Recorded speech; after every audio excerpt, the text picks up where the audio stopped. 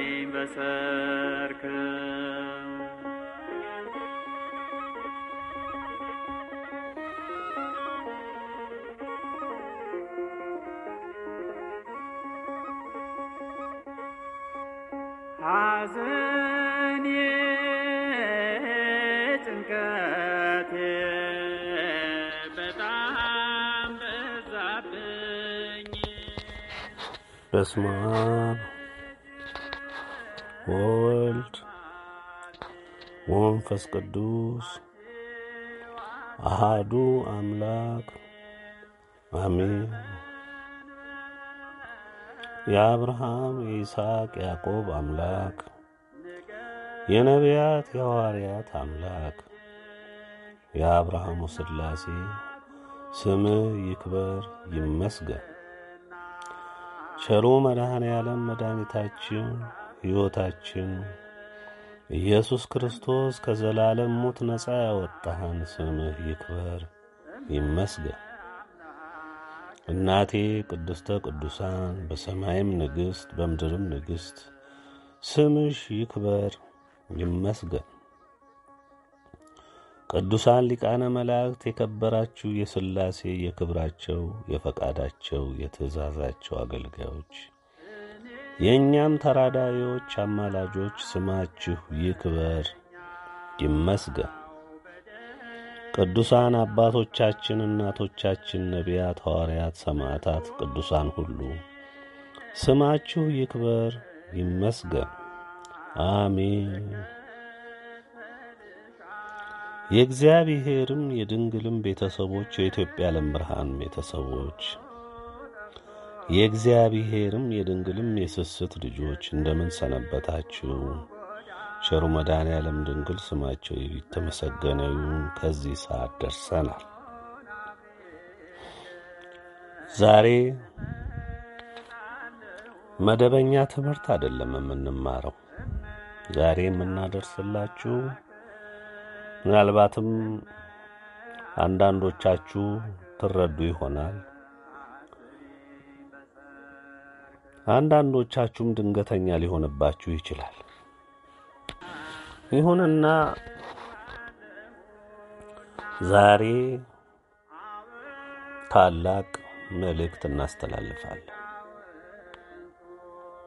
መልእክት አስር በሚል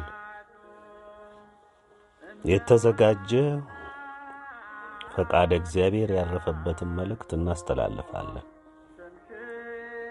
ስለዚህ ወደ መልእክቱ ንባብ ከመሄዴ በፊት በአንክሮ በትህትና የምነግራችሁ ይህ መልእክት ለሁሉም የአዳም ዘር የሚደርስ መሆኑን አውቃችሁ ሁሉም እንዲሰማው፣ ሁሉም እንዲያውቀው፣ ሁሉም እንዲረዳው ባላችሁ መንገድ ሁሉ እንድታደርሱ አደራ እላለሁ።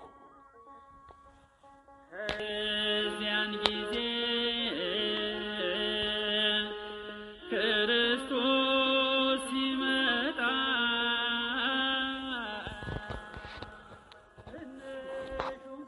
መልእክት አስር ጥር ሰባት ቀን ሁለት ሺ አስራ አምስት ዓመተ ምህረት። ከኢትዮጵያ የዓለም ብርሃናዊ መንግሥት በአብርሃሙ ሥላሴ ፈቃድ የወጣ መልእክት። መልእክት አስር። በስመ አብ ወወልድ ወመንፈስ ቅዱስ አሃዱ አምላክ አሜን። ኢትዮጵያ የሥላሴ ክብራቸው መገለጫና መመስገኛ ምድር፣ ኢትዮጵያ ርስተ ድንግል ማርያም፣ ኢትዮጵያ የዓለም ብርሃን፣ ኢትዮጵያ የዓለሙ ገዢ። ለአስራ ሰባት ዓመታት እንደ እግዚአብሔር ፈቃድ ጊዜያቸውን ጠብቀው ለመላው የአዳም ዘር ሲገለጡ የቆዩትን ከአብርሃሙ ሥላሴ እስትንፋስ የወጡትን መልእክታት። በኅዳር ሰባት ቀን 1998 ዓመተ ምህረት የወጣ የመጀመሪያው መልእክት። ግንቦት 27 ቀን 2000 ዓመተ ምህረት የወጣ ሁለተኛ መልእክት። መጋቢት 19 ቀን 2001 ዓመተ ምህረት የወጣ ሶስተኛ መልእክት። መስከረም 21 ቀን 2004 ዓመተ ምህረት የወጣ አምስተኛ መልእክት። እንዲሁም በኢህአዴግ መንግሥት ስንብትና ስለ ኢትዮጵያ ተዋሕዶ ኦርቶዶክስና ስለ መንግሥት ጥፋትና ቅጣት የገለጸውን አራተኛ መልእክት ስድስተኛ መልእክት ደግሞ ስለ መልእክት ሰባት ሕግጋተ ሥላሴ መታወጅን ብቻ የገለጸ በመሆኑ ዛሬ ባናነሳውም ወደፊት ለትንሣኤው ባለቤቶች ብቻ የሚገለጽ ይሆናል። ታኅሳስ 21 ቀን 2011 ዓመተ ምህረት የወጣ ስምንተኛ መልእክት በመጨረሻም ታኅሳስ 21 ቀን 2013 ዓመተ ምህረት የወጣ ዘጠነኛ መልእክት። እኒህ ሁሉ መልእክቶች ሰምተሃቸዋል። በተለይ በዚህ በዘጠነኛ መልእክት ውስጥ በዋነኛነት የታወጀውን የአስቸኳይ ጊዜ አዋጅ ሁለት ዓመት ጊዜ ሰጥቶ የጠበቀህን አዋጅ ጉዳይ ባትለውም ደንግጠህ ንስሐ ባትገባም የተሰጠህን ዕድል ንቀህ በትዕቢት ብትዘልቅም ዛሬ ሁሉም አለቀና ትዕግሥቱም ጥንፍፍ ብሎ በማብቃቱ ሙሉ በሙሉ አዋጁ በመላው ዓለም ሁሉ በተግባር ላይ እንዲውል ትእዛዝ የወረደና ለፈጻሚዎች መድረሱን ዛሬም ልታውቅ እንወዳለን።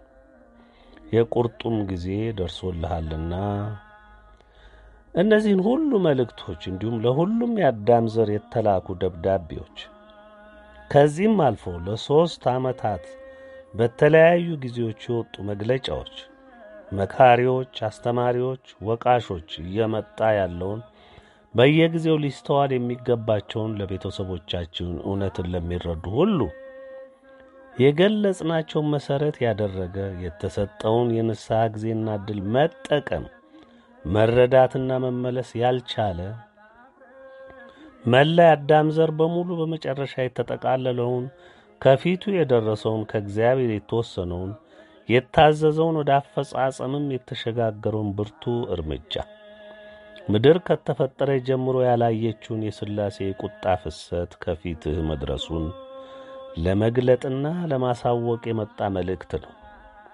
በዚህ መልእክት ውስጥ ና ተመለስ፣ ንስሐ ግባ፣ አትግባ የሚባልበት እሰጥ አገባ ዘመን ተጠናቆ አልፏል። ዛሬ ከፊት የተሰደረው የቁጣ ፍሰት ግን በቃ። በእግዚአብሔር የምሕረት መዝገብ ውስጥ የሌለኸውን ሁሉ እንደ ተሸከምከው ዕጣህና ፍርድህ የሚፈጸምብን እንድታውቅ ማድረግ ብቻ ነው።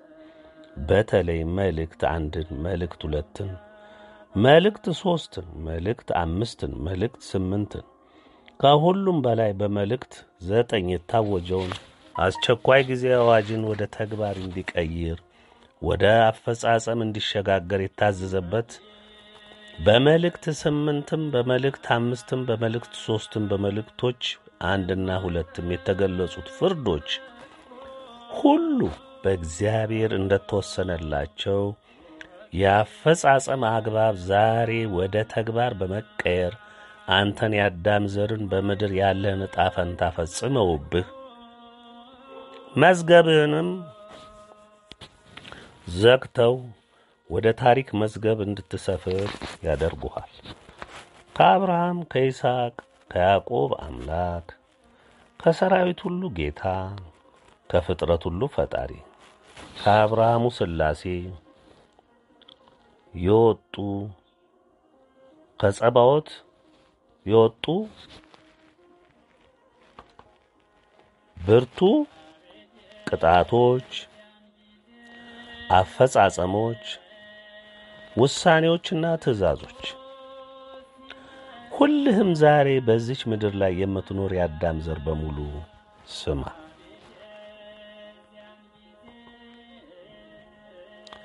የማይመለከትህ የሰው ዘር የለህምና የመጨረሻው ማብቂያ ነውና ጊዜም የለህምና ስማ። ከፍጥረት ሁሉ አስገኝና ፈጣሪ ሁሉን ቻይ የአብርሃሙ ሥላሴ የታዘዘ ብርቱ የቅጣት አፈጻጸሞች፣ ውሳኔና ትእዛዞች በምድሪቱም ሰው በደረሰበት ሁሉ የሚፈጸም ይህ ድረስ በዓለም ሁሉ ፊት ተበትነ ለምትኖር የአዳም ዘር በሙሉ። መዝሙረ ዳዊት ምዕራፍ ሰባ ሦስት ወይም በቅንፍ ሰባ አራት የኃያሉ እግዚአብሔር ኃይለ ቃልን እንመልከት። ለምታስተውለውም ለማታስተውለውም መስማት ከእግዚአብሔር ቃል ነውና ስማ። መቼም እንደ ሁልጊዜ ሁሉ ማፌዝ ልማድህ ነውና ንቀትና ትዕቢት ዲያብሎስ ያለበሰህ ጌጥህ ነውና ስማ። መላው የአዳም ዘር ስማ። ጥቂቶች የእግዚአብሔርም የድንግልም ቤተሰቦች የዋህ ቅን ሕዝቦች እናንተም ምስክር ናችሁና የዓለምን የጥፋት ርቀት እምን ድረስ እንደሄደ በራሳችሁም በሁሉም የሰው ዘር ላይ ሲፈጸም የምታዩ የምትመለከቱ ስለሆነ በአንክሮ በማስተዋል ስሙት።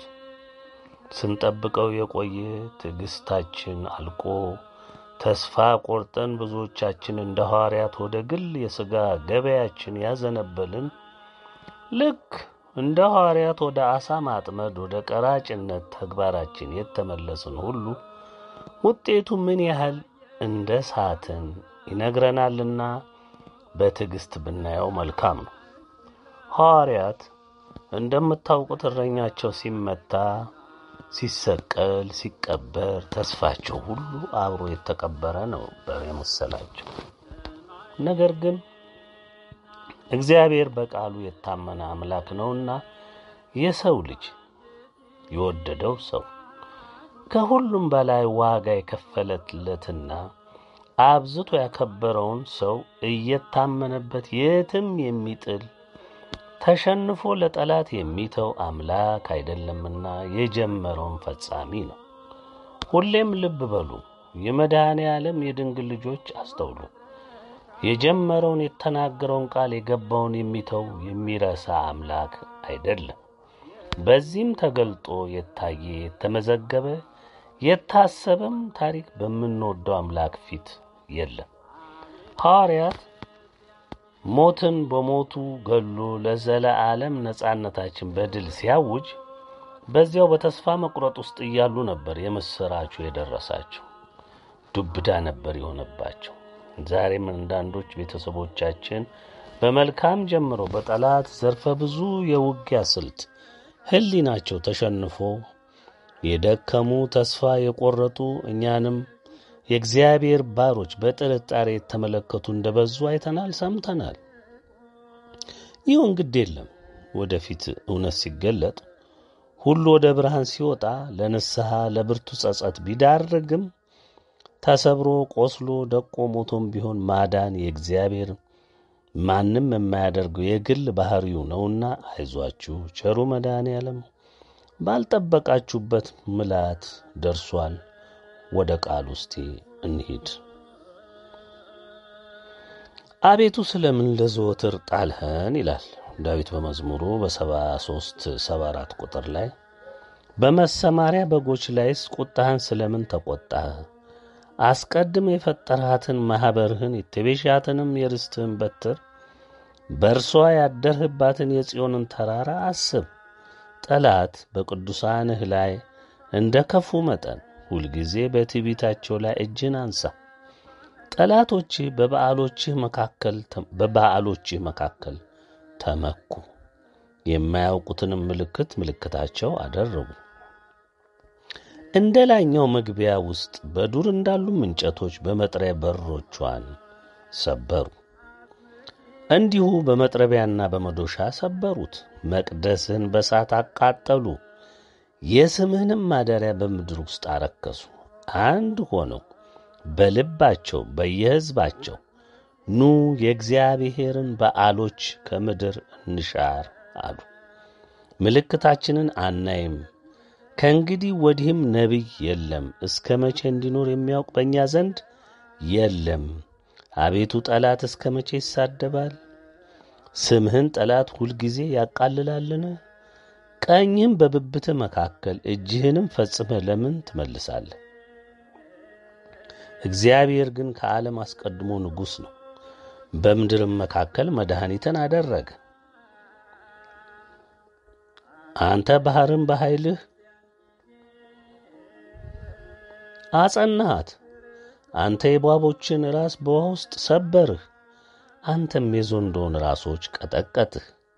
ለኢትዮጵያ ሰዎች ምግባቸውን ሰጠሃቸው። አንተ ምንጮችና ፈሳሾችን ሰነጠቅህ። አንተ ሁልጊዜ የሚፈሱትን ወንዞች አደረግህ። ቀኑ ያንተ ነው፣ ሌሊቱም ያንተ ነው። አንተ ፀሐዩና ጨረቃውን አዘጋጀ። አንተ የምድር ዳርቻ ሁሉ ሠራህ። በጋንም ክረምትንም አንተ አደረግህ። ይህን ፍጥረትህን አስብ። ጠላት በእግዚአብሔር ላይ ተላገደ፣ ሰነፍ ሕዝብም ስሙን አስቆጣ።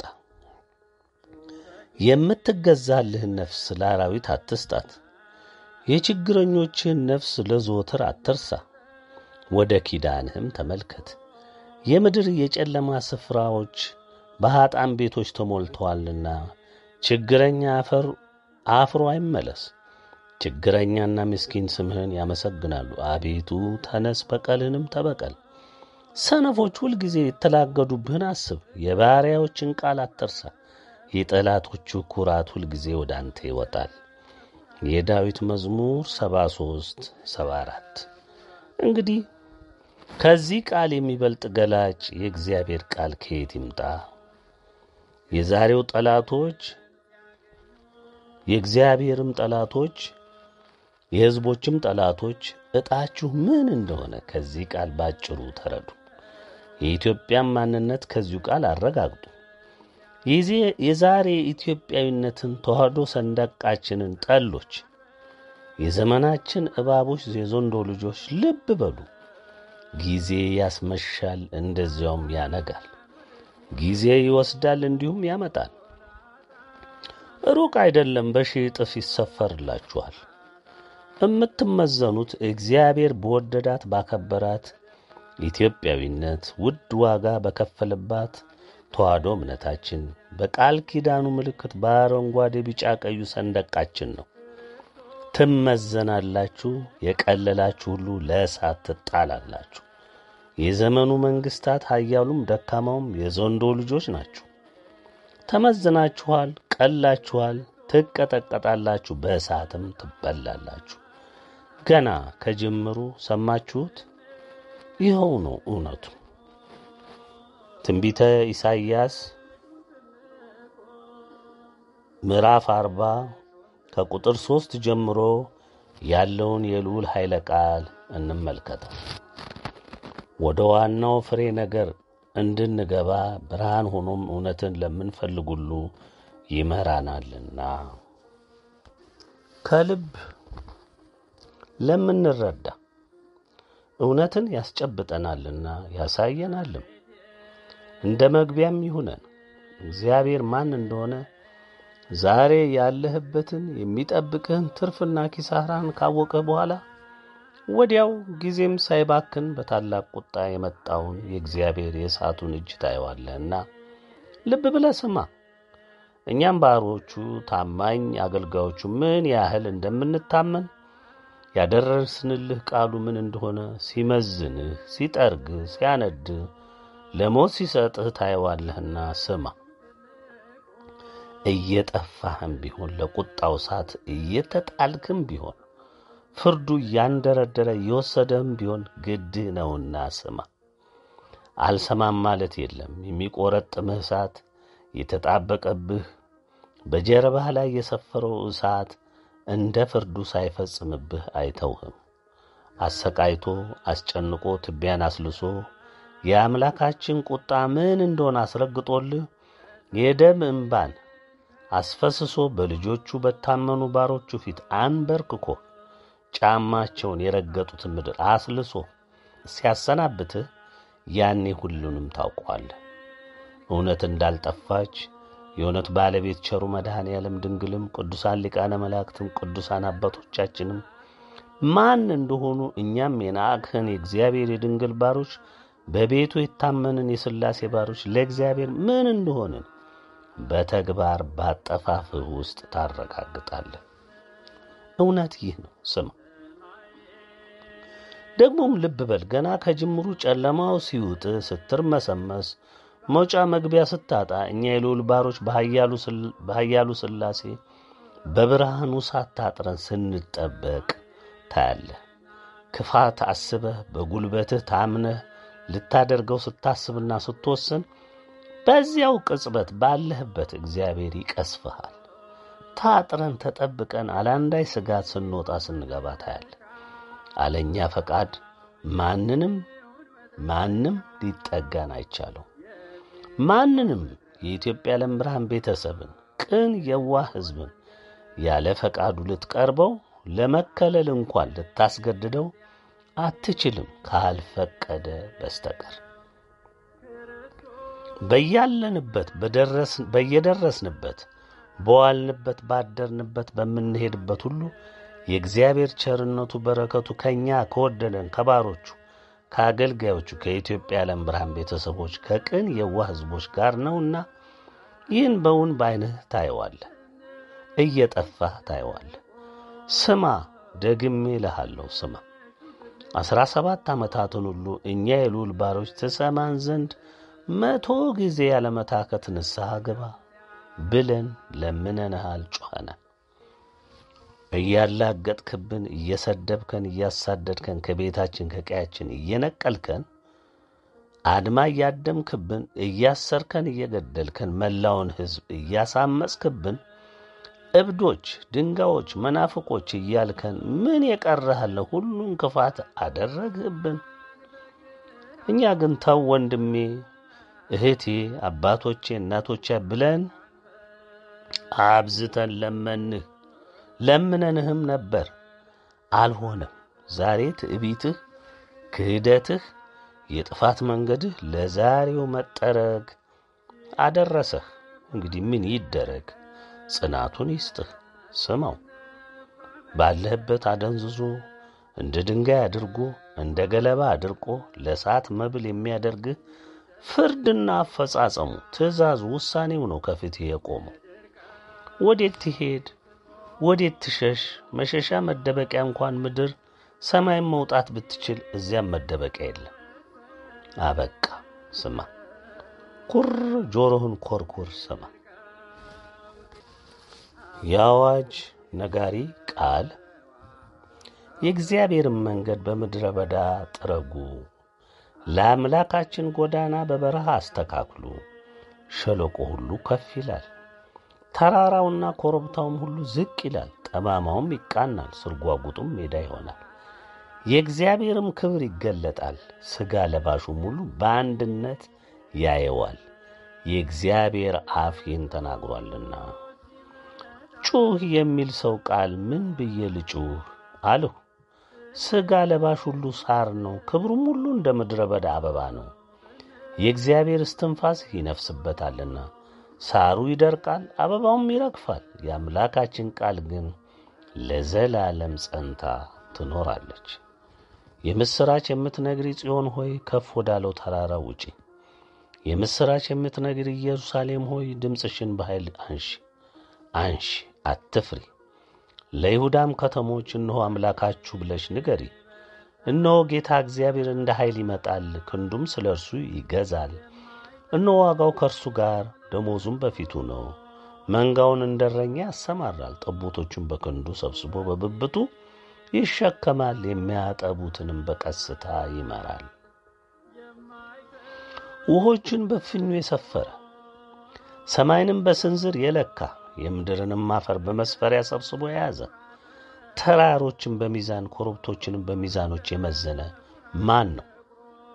የእግዚአብሔርን መንፈስ ያዘዘ ወይስ አማካሪ ሆኖ ያስተማረው ማን ነው? ወይስ ከማን ጋር ተመካከረ? ወይስ ማን መከረው? የፍርድንም መንገድ ማን አስተማረው? ዕውቀትንስ ማን አስተማረው? የማስተዋልንስ መንገድ ማን አሳየው? እነሆ አሕዛብ በገንቦ ውስጥ እንዳለች ጠብታ ናቸው፣ በሚዛን እንዳለ ትንሽ ትቢያ ተቆጥረዋል።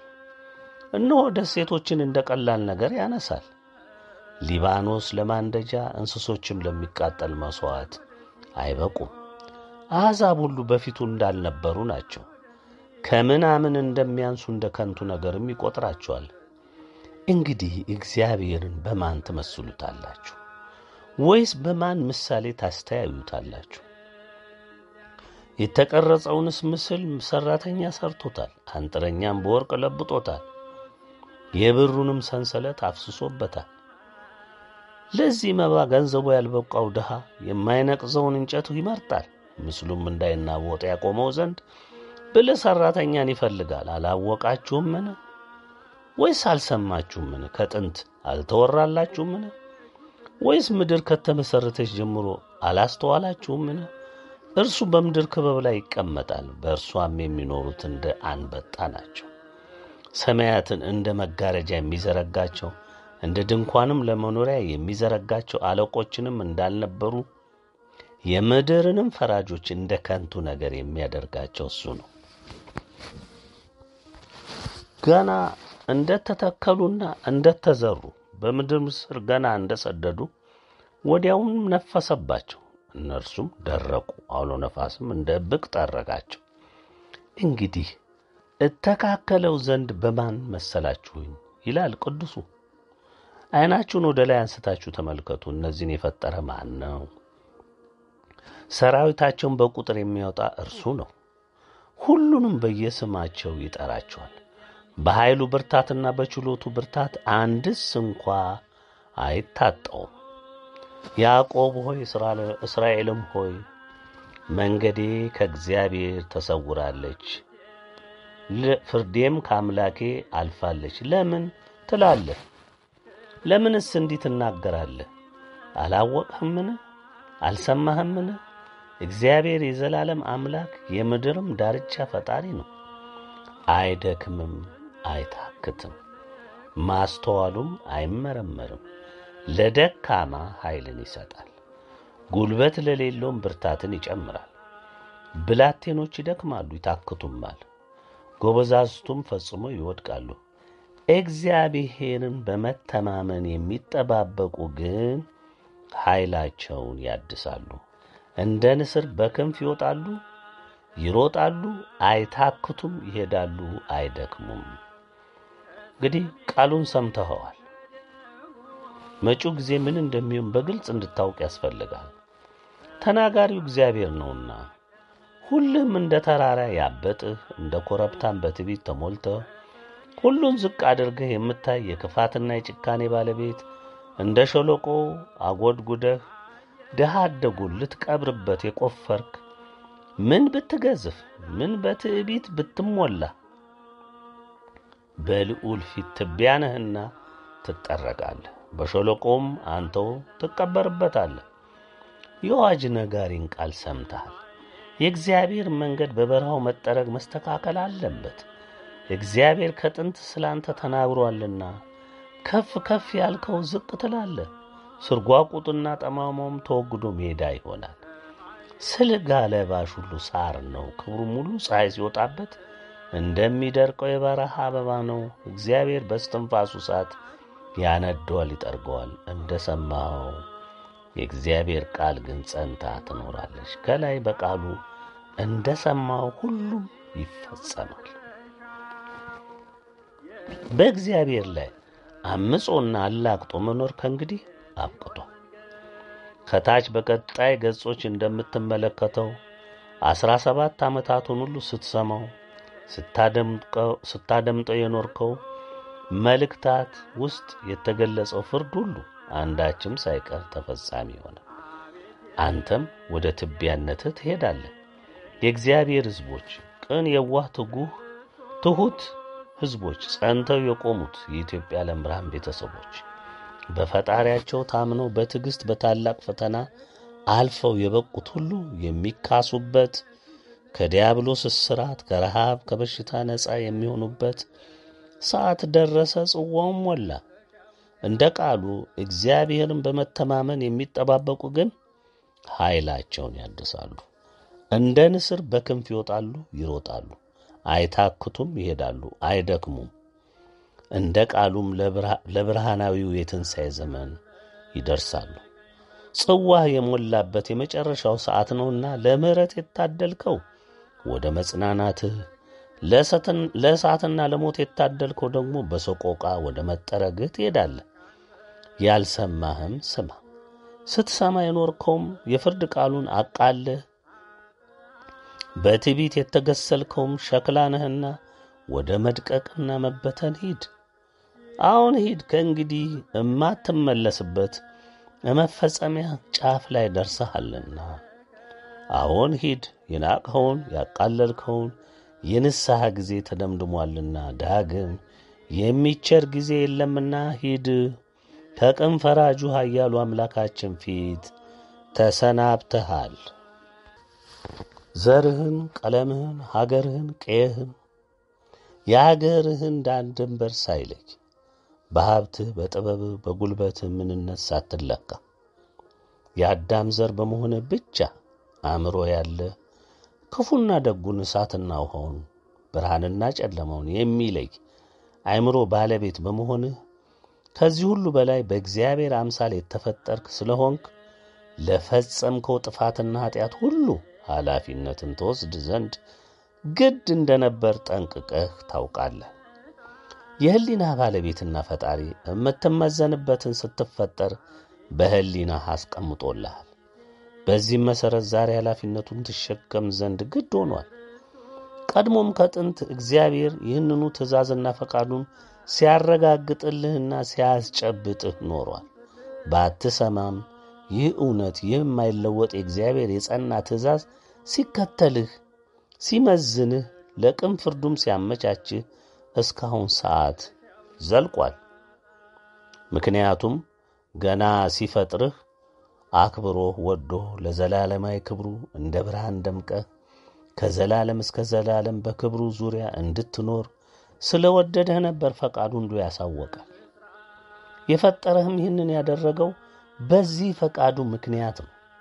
ይህም ሲሆን በምድር ቆይታ በምትኖረው ኑሮ ፈቅደ በራስ ውዴታ አክብረኸው ወደኸው ፈቃዱን፣ ትእዛዛቱን፣ ሥርዓቱን ተገንዝበ ታምነህበት በዚች የእንግድነት ዓለም በውጣ ውረዱ ሳትሸነፍ በምትኩ በእምነትህ በአምላክህ ታምነ ዓለምንና ጠላትን ዲያብሎስን አሸንፈኸው የዚችን ዓለም የእንግድነትን ዘመን እንድትጨርስ አሁንም ፈቃዱ ስለነበረ ነው።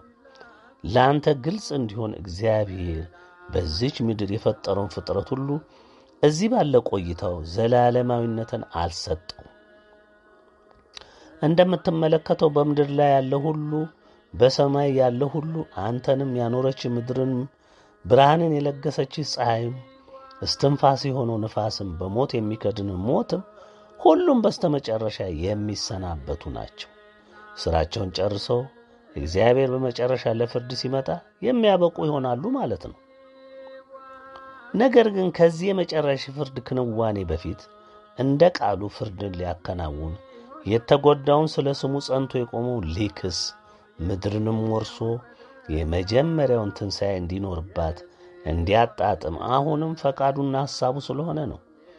ላለፉት ለጸኑት ፍርዱን ሲናፍቁ ለኖሩት ስለ ፈሰሰው የወገኖቹ የታመኑ ሕዝቦቹ ደም ቅን ፍርዱን እየጠበቁ ላሉ አባቶቻችን፣ እናቶቻችን ዛሬ በሕይወት ላሉ ልጆቻቸው ለእኛ ፍርድን እንደ ቃል ኪዳኑ ፈጽሞ በምድር ላይ የከፋ ኃጢአትን እየፈጸሙ ንቀውት ያሉትን ለመጨረሻ ጊዜ ሊያሰናብታቸው ዕጣቸው የሆነውን በእሳት መበላት በታላቅ ቁጣው መሰናበት እንዲፈጸምባቸው መወሰኑ መታዘዙ ወደ አፈጻጸም መሻገሩ እንዲገባ ግድ ነው።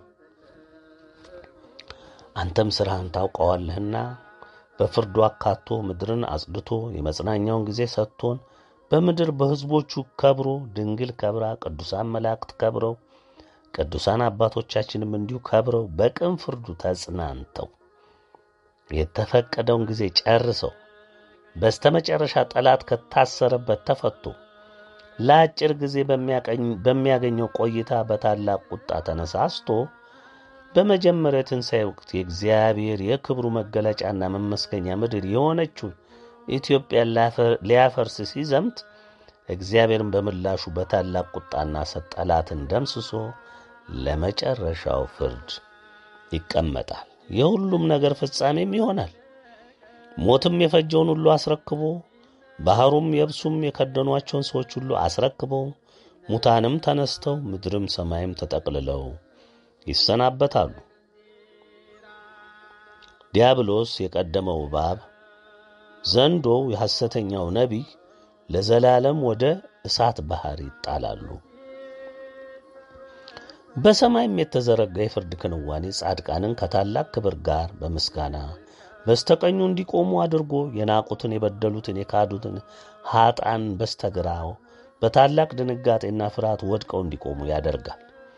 ጻድቃን በታላቅ ክብር በውዳሴና በዝማሬ በታላቅ ክብር በብርሃኑ ደምቀው በድንግል በከበሩት ሊቃነ መላእክት ታጅበው በታላላቆቹ አባቶቻችን በሰማዕታት ክብር እየተመሩ እግዚአብሔር አምላካችን ወዳዘጋጃት መንግሥተ ሰማያት ይገባሉ። ከዘላለም እስከ ዘላለምም ይደሰቱባታል። በስተግራ የቆሙት የበደሉት፣ የካዱት በዲያብሎስ ታምነው በዚች ምድር የዘላለም ኗሪ መስለው ቃሉን፣ ትእዛዙን፣ ሥርዓቱን፣ ፈቃዱን አቃለው ምክርን፣ ተግሣጽን ሁሉ ንቀው በትዕቢታቸው ዘልቀው የመጨረሻው የቁጣው ፍርድ ያገኛቸው ይሆናሉ።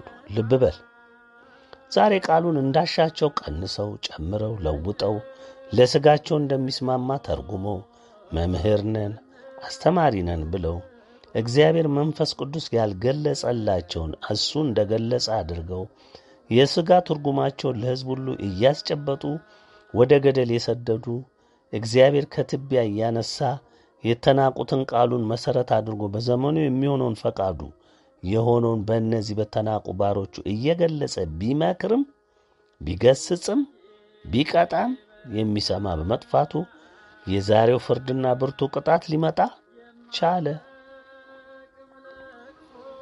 ዛሬ መምህሬ፣ አባቴ፣ ንስሐ አባቴ፣ ባራኬ የምትላቸው በቤተ ክርስቲያናችን በተዋህዶ ቤታችንም ያሉት የመጨረሻውን የሰው እውነተኛ መዳኛ የሆነችውን ተዋህዶ ኦርቶዶክስን እያፈረሱ ከውስጧ ሆነው ምዕመኑን ሁሉ አውረው ተግሣጽ እንዳይሰማ አድርገው ለዛሬው የመጨረሻ ጥፋት አድርሰውታል።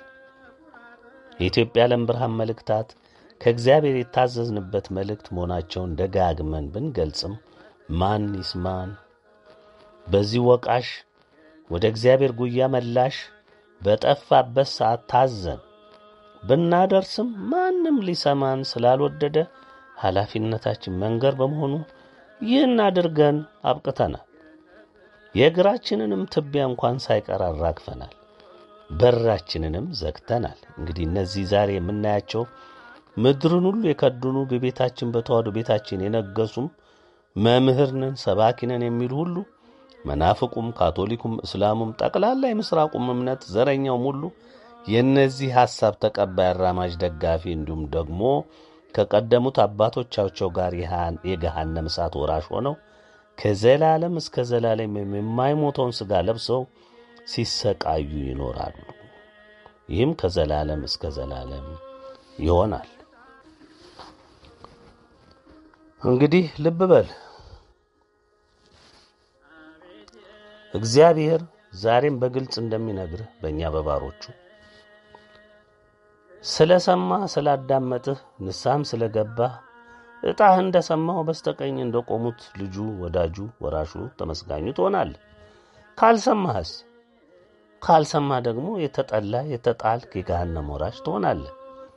ገና ምድርን ሳትለቅ ፍርድህ ምን እንደሚመስል ከወዲሁ በተከተለ ፍርድ ታውቃለህ።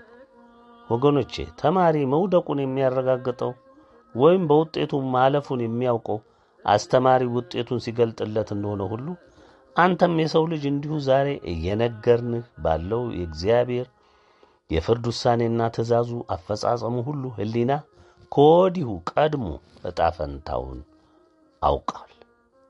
ማንም አለ አላለ ሕሊና እንደ መዘነ ዛሬ የነገርንን ሁሉ እንደ ሰማህም ዕጣህ የት ጋር እንዳረፈ ታውቃለህ ማለት ነው። በዮሐንስ ራእይ በተለይም በምዕራፍ ሃያ እንደተገለጸው ከላይ የዘረዘርኩልህ ሁሉ ተፈጻሚ ይሆናል። አንድም የሚቀር ቃል የለም።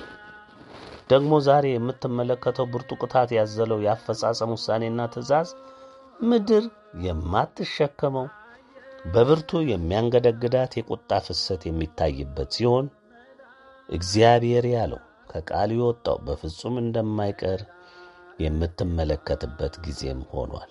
እኛም ባሮቹ ደግመን ልናስታውስ የወደድነው መፈጸሚያው በመድረሱና ትእዛዙ ከአብርሃሙ ሥላሴ በመውጣቱ ነው። እውነትን መግለጽ፣ ማሳወቅ፣ ማስረዳት፣ ፍርድን እንዲሁ ማድረስ ተግባራችን ነው። ዘወትር የምንተጋበት እግዚአብሔር ያሸከመን መክሊታችንም ነው። ስለዚህም ነው ብትሰማንም ባትሰማንም የምንጮኸው። ሥራችን የተሰለፍንባት ዕጣ ፈንታችን ይህ ነው። የአብርሃሙ ሥላሴ የተመሰገነ ይሁን። ልብ ብለህ አድምጥ። ስትሞት ስትያዝ አይደለም የምታደምጥ። ዛሬ ጆሮህ እየሰማ ዓይንህ እያየ በተግባር እጅግ የምትፈራው ሞት ፊት ለፊትህ ከመገተሩ በፊት ጣርና ሰቆቋው በሞት መንገድ ከሚጎትቱህ በፊት ዛሬ ይኸው ነገርንህ። ለመጨረሻው ሰዓት መድረስን አስከፊው አስጨናቂው ሞትን ለመገናኘት ተዘጋጅ። በተለይ በዮሐንስ ራእይ ላይ ብዙ የዲያብሎስ ቅኝቶች፣ ምሁር ተብዬዎች ከዚሁ ከአገራችን ጭምር የተነሱ በቃሉ ላይ በድፍረት ሥጋዊ ምኞታቸውን ያሰረጹ በብርቱ ቃሉን ለማጥፋት ትርጉሙንም በመለወጥ ሕዝበ ክርስቲያኑ በቃሉ እንዳይታመንበት እንዳይረዳና ተጸጽቶም በንስሐ እንዳይመለስ ያደረጉ ዛሬም በትዕቢት ሲገሰሉ እያየናቸው ነው። በእግዚአብሔር መንፈስ ቅዱስ ላይ ክፉ ለማድረግ ብዙ ርቀት ሄደዋል።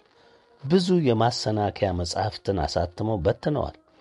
በዚህ እኩይ ሥራቸው ላይ ኢትዮጵያ የዓለም ብርሃን መቅሰፍት ሆኖ የዘመናት የውሸት ድሪቷቸውን ለአደባባይ አስጥቶላቸዋል። ገናም ለብርቱ ፍርድና ቅጣት ያበቃቸዋል።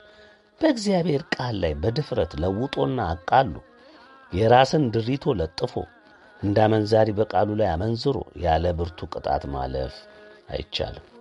ይህንንም በቅርብ ታዩታላችሁ። በተለይ በቤተ ክርስቲያናችን በተዋህዶ ቤታችን የነገሳችሁባት የጥፋት አለቆች፣ እረኞች፣ መሪነን ባዮች፣ መምህራንን፣ ካህንን፣ ዲያቆንን፣ ጳጳስነን የምትሉ በእግዚአብሔር ቤት ንግድና ጥፋትን ክህደትን ያሰፈናችሁ በድፍረት ትንሣኤ ኢትዮጵያ የለም የሚመጣም ቁጣና ፍርድም የለም። በስተመጨረሻ ዓለም ስትፈጸም ነው ሁሉም የሚሆነው እያላችሁ ሕዝብን በንስሐ እንዳይመለስ እንዳይጸጸት።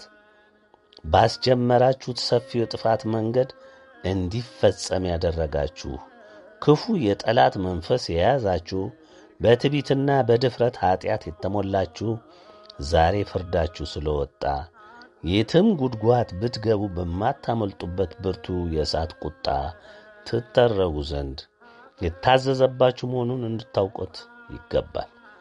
እርግጥ ትዕቢታችሁ፣ መታመኛችሁ ዲያብሎስ የሞላበት ልባችሁ ሳይፈጽማችሁ አይለቃችሁምና መልካም ስንብት እንላለን። ደግመን ዛሬም ቃሉን እንየው። የዮሐንስ ራእይ ምዕራፍ 20 የጥልቁንም መክፈቻና ታላቁን ሰንሰለት በእጁ የያዘ መልአክ ከሰማይ ሲወርድ አየሁ። የቀደመውንም እባብ ዘንዶን እርሱም ዲያብሎስና ሰይጣን የተባለውን ያዘው፣ ሺህ ዓመትም አሰረው፣ ወደ ጥልቁም ጣለው። አሕዛብንም ወደፊት እንዳያስት ሺህ ዓመት እስኪፈጸም ድረስ በእርሱ ላይ ዘግቶ ማኅተም አደረገበት። ከዚያም በኋላ ለጥቂት ጊዜ ይፈታ ዘንድ ይገባዋል። ከዚያም በኋላ ዙፋኖች ተዘርግተው የሰው ልጅ በላያቸው ተቀምጦ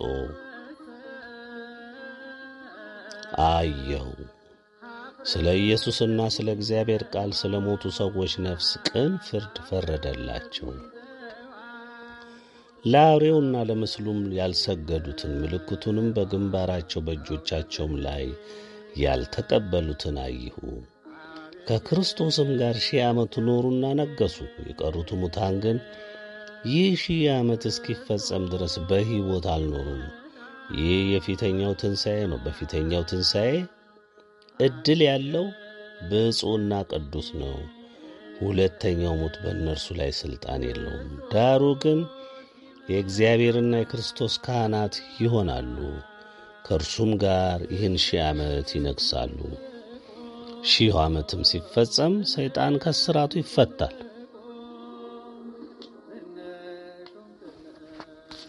በአራቱም በምድር ማዕዘን ያሉትን አሕዛብ ጎግንና ማጎግን እንዲያስታቸው ለሰልፍም እንዲያስከትታቸው ይወጣል። ቁጥራቸውም እንደ ባሕር አሸዋ የሚያህል ነው። ወደ ምድርም ስፋት ወጡ። የቅዱሳንንም ሰፈርና የተወደደችውን ከተማ ከበቡ። እሳትም ከሰማይ ከእግዚአብሔር ዘንድ ወርዳ በላቻቸው። ያሳታቸውም ዲያብሎስ አውሬውና ሐሰተኛው ነቢይ ወዳሉበት ወደ እሳቱና ወደ ዲኑ ባሕር ተጣለ። ለዘላለምም እስከ ዘላለም ቀንና ሌሊት ይሰቃያሉ። ታላቅና ነጭ ዙፋንን በእርሱም ላይ የተቀመጠውን አየሁ። ምድርና ሰማይም ከፊቱ ሸሹ፣ ስፍራም አልተገኘላቸው። ሙታንንም ታናናሾችንና ታላላቆችን በዙፋኑ ፊት ቆመው አየሁ። መጽሐፍትም ተከፈቱ። ሌላ መጽሐፍም ተከፈተ፣ እርሱም የሕይወት መጽሐፍ ነው። ሙታንም በመጽሐፍት ተጽፎ እንደነበረ እንደ ሥራቸው መጠን ተከፈሉ። ባሕርም በእርሱ ውስጥ ያሉትን ሙታን ሰጠ። ሞትና ሲኦልም በእርሱ ዘንድ ያሉትን ሙታን ሰጡ። እያንዳንዱም እንደ ሥራው መጠን ተከፈለ። ሞትና ሲኦልም በእሳት ባሕር ውስጥ ተጣሉ። ይህም የእሳት ባሕር ሁለተኛው ሞት ነው። በሕይወትም መጽሐፍ ተጽፎ ያልተገኘው ማንኛውም በእሳት ባሕር ውስጥ ተጣለ። እንግዲህ ይህንን የማይናወጽ የእግዚአብሔር ቃል ለማደብዘዝና ከሰው ሕሊና ለማውጣት የዲያብሎስ ቀለብተኞች ሁሉ ቢደክሙም ወደ ብርሃን የማይመጣ የለምና ኖ ሰዓቱ ሞላ፣ ገስግሶ ከፊትህ ደረሰ። እኛም ልናይ ነው። እናንተም የሥራችሁን ፍሬ ልትጎነጩ ነው። ዘላለም የሚኖር ነዋሪ መስላችሁና በእርግጥም ተመስሎባችሁ ለሥጋችሁ ስትወጡ ስትወርዱ እንደ ነጋበት ጅብ የሞተውን አህያ ሲነጭ ከእርሱ አልሞላ ብሎት ከመብሊቱ አህያ ላይ ዐይኑን ሁለመናውን እንደ ተከለ ባለቤቶች ደረሱ፣ እንደ አህያይቱ እዚያው አበከቱት። እናንተም የዚህ ጅብ ባሕሪ የተላበሳችሁ ሰብአዊ ፍጥሮች ሆናችሁ ሳለ ነገር ግን አህያውን የተካችሁ በግብሩም የመሰላችሁት ስለሆነ ባለቤቱ ስለመጣ እዚያው ለሆድህ እንደተዘፈዘፍ እንደተሰጣህ የእግዚአብሔርን ቤት ፍጹም አፍርሰህ ለዲያብሎስ ገዦች ታምነህ የፈጠረህን አምላክ ከድሃ እጅ ክደህ የፈጠረህን አምላክ ክደህ እጅ ከፍንጅ እንደሚባለው ተያዘ። በቃ ምን መና አለ? ሁሉም አብቅቷል። እሳቱ ይበላል። ከዚህ ቀደም ከሁለት ዓመት በፊት በደብዳቤ ጣፈንታችሁ ተገልጦላችሁ በግልጽ ተነግሯችሁ ነበር። እግዚአብሔር ታማኝ እረኞቹን ማዘጋጀቱን እናንተም ለቁጣው ፍርድ መቅረታችሁን ሲነገራችሁ ልባችሁ ደንግጦ በንስሐ ከመመለስ ይልቅ የጥፋት፣ የትዕቢት፣ የንቀት ዘመቻ ከፈታችሁ። በፍርፋሪ የምትገዟቸውን ውሾቻችሁን አስጮኻችሁ። ከዲያብሎስ መንግሥት ተመሳጥራችሁ በኢትዮጵያ ለምራም ቤተሰቦቻችን ላይ እስርን፣ ማሳደድን፣ እንግልትን ሁሉ አነገሳችሁ። ዝም ተብሎ መታለፍ ያለ መስሎ ነበር። አሁን እነሆ የዚህ ሁሉ ድርጊት ፈጻሚ፣ አስፈጻሚ፣ ተባባሪ፣ ደጋፊ፣ ረጂ ሁሉ በእሳት እንድትበላ ተወስኖብሃል። ትእዛዙም ለፈጻሚዎች ደርሷል። መልካም ስንብት። እዚህም በአገር ያለህ በውጭም ያለህ እንደ ሥራህ ዋጋህን ታገኛለህ። ከእግዚአብሔር ቅን ፍርድ የሚያመልጥ የለም፣ ሆኖም አያውቅም። በስላሾች ፈቃድ ውሳኔዎችና ትእዛዝ የመጣ የቀደሙትን ፍርድ አዘል መልእክቶች፣ መግለጫዎች፣ ጠቅላላ የፍርድና የአፈጻጸም ቃሎች መሠረት በማድረግ የታዘዘ እጅግ ብርቱ የጸና በሰው ልጅ ታሪክ ተሰምቶም ታይቶም ተደርጎም የማያውቅ የቅጣት አፈጻጸም ውሳኔና ትእዛዞችን እነሆ ይፈጸምብህ ዘንድ መጣ። ተቀበል። እንደ ፈለግህ ፈንጭተህ ዘለ በእግዚአብሔር ሕዝቦች ላይ ዘምተህ ገለ አሳደህ አስረ የግፍን ጽዋ ሁሉ ያለ ከልካይ በድሃ በአጣ በነጣ ሕዝብ ላይ ከፈጣሪው ውጪ ሌላ ታዳጊ በሌለው ሕዝብ ላይ በየዋህ ቅን በፈጣሪው ብቻ በሚታመን ሕዝብ ላይ ያልፈጸምከው የግፍ አይነትና የንጹሕ ደም ማፍሰስ ተግባር የለምና በሥልጣንህ በአቅምህ በእውቀትህ ባለ ሁሉ ዘመቻ ከፍተሃል። በአንዲቷ ተዋሕዶ ኦርቶዶክስ እምነት ላይም ለጥፋቷ ሁሉ ስትደክም ኖረሃል። አጥፊ ሆነ በዕድሜ ሁሉ ይህንን ፈጽመሃል። የዘራኸውን ማጨድ ደግሞ ግድ ነውና ቅን ፍርድም የግድ ይፈጸማልና እግዚአብሔርም ቅን ፈራጅ ነውና ይንታይና ይፈጸምብህ ዘንድ ሰዓቷ ደረሰች፣ ሞላች። ግድ ነው፣ ተቀበለው። መቼም የዲያብሎስ ዕቅድ ማስፈጸሚያ መቀለጃ ይሆን ዘንድ አእምሮህን ሁለመናህንም ፈቅደህ አስገዝተሃልና ለመጣው ብርቱ ጥፋትና ውድመት ከራስህ ውጪ ማንንም ልትከስ አትችልምና የፍጻሜውን ቅጣት ትቀበለው ዘንድ ግድ ሆነ። ምንም ምክንያት አትደርድር፣ የሚሰማህ የለምና። አሁን በፍርድ ስትያዝ ሞት በላይ ሲነግስብህ የሰቆቃዎች ሁሉ ሰቆቃ ሲወርድብህ ሞትን እንዲወስድህ ስትለምነው እሱም ሲያሾፍብህ ያኔ የኢትዮጵያ ለምራን ቤተሰቦችን አስብ። ቢጠሩህ ቢነግሩህ ለንስሐ ብቃ ብለው ቢወተውትህ በትዕቢት ተሞልተ የመለስከውን መልስና ድርጊት አስታውስ። በተለይ የኢትዮጵያ ኦርቶዶክስ ቤተ ክርስቲያናችን አመራር ነን፣ አስተማሪ ነን፣ ሊቅ ነን የሚሉ በግልጽና በራሳቸው የሳተላይት ቴሌቪዥን ስርጭታቸው የኢትዮጵያ ዓለም ብርሃንን ሲተቹ፣ ሲነቅፉ፣ በምንፍቅና ሲከሱ ሁሉ የሰማው ተግባራችሁ ነው። በዚህ እንደ በቀቀን እናንተኑ ተከትለው እንደ አምላካችን ድምፅ ቆጥረው ግራና ቀኙን ሳይመዝኑ የእኛንም ድምፅ መልእክታቱን ሳይሰሙ ሳያነቡ መናፍቅ ናቸው እያሉ በየተሰበሰቡበት ሁሉ በየቡናቸው ላይ ሁሉ እንደ ማስቲካ ሲያኝኩን እስካሁን ዘልቀዋል።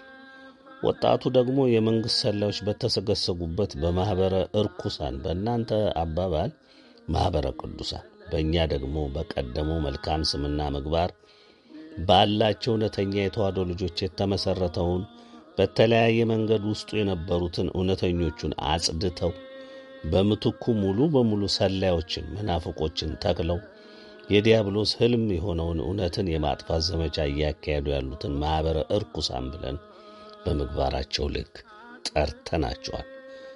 የሰንበት ትምህርት ቤትም እንዲሁ እንደ ማኅበረ እርኩሳን በእኛ ላይ ዘመቻ የከፈቱም ናቸው ናቸውም። አንተም ማንም ሆንክ ማንም የእነዚህ የተዋህዶ እምነትን ያጸኑትን ወጣቶችን የማኮላሸት ሥራ የሚሠሩትን እስከ ደገፍክና ከእነሱ እስከተጣበቅህ ድረስ የማኅበር እርኩሳን አባል ነህ። ፍርድህም ተከትሎሃል። ዛሬ ለንስሐ ልንጠራህ አይደለም በዚህ አፈጻጸም ትእዛዝ የመጣ ነው። በምትኩ መፈጸምን ልንገልጽልህ እንጂ ይህም ብቻ አይደለም። ከእግዚአብሔር የተወሰነውን እኛም እንደ ታማኝ ባሪያና እረኝነታችን ትእዛዙን እኛም ባሮቹ ማጽናታችንን በእኛም በኩል ትእዛዘ ሥላሴ የጸና መሆኑን ልናረጋግጥልህ ነው። ከሰውም ሁሉ እጅግ በእውቀትም በኑሮም በሰውኛ መስፈሪያም ያነስነውን ባሮቹን መልእክቱን፣ ትእዛዙን፣ ፍርዱን፣ አፈጻጸሙን ሁሉ ለመላ አዳም ዘር እንድናደርስ ታዘዝን። ይህን ትእዛዝ ከብዶን ላለመቀበል ተከራክረናል። ፈቃደ እግዚአብሔርን መከላከል ፈጽሞ አይቻልምና ግድ ተቀብለን እንደ ቃሉ ፈጽመናል። ጊዜን ሳይነፍግ ሰፊ ድልን በመስጠት የመጸጻቻ ጊዜን በሰፊው በመቸር ዛሬን፣ ነገን፣ ተነጎዲያን፣ ሳምንታትን፣ ወራትን፣ ዓመታትን ሁሉ በትዕግሥት ትመለስ ዘንድ ጠብቆሃል። ትዕቢት የኀጢአቶች ሁሉ አባት ነውና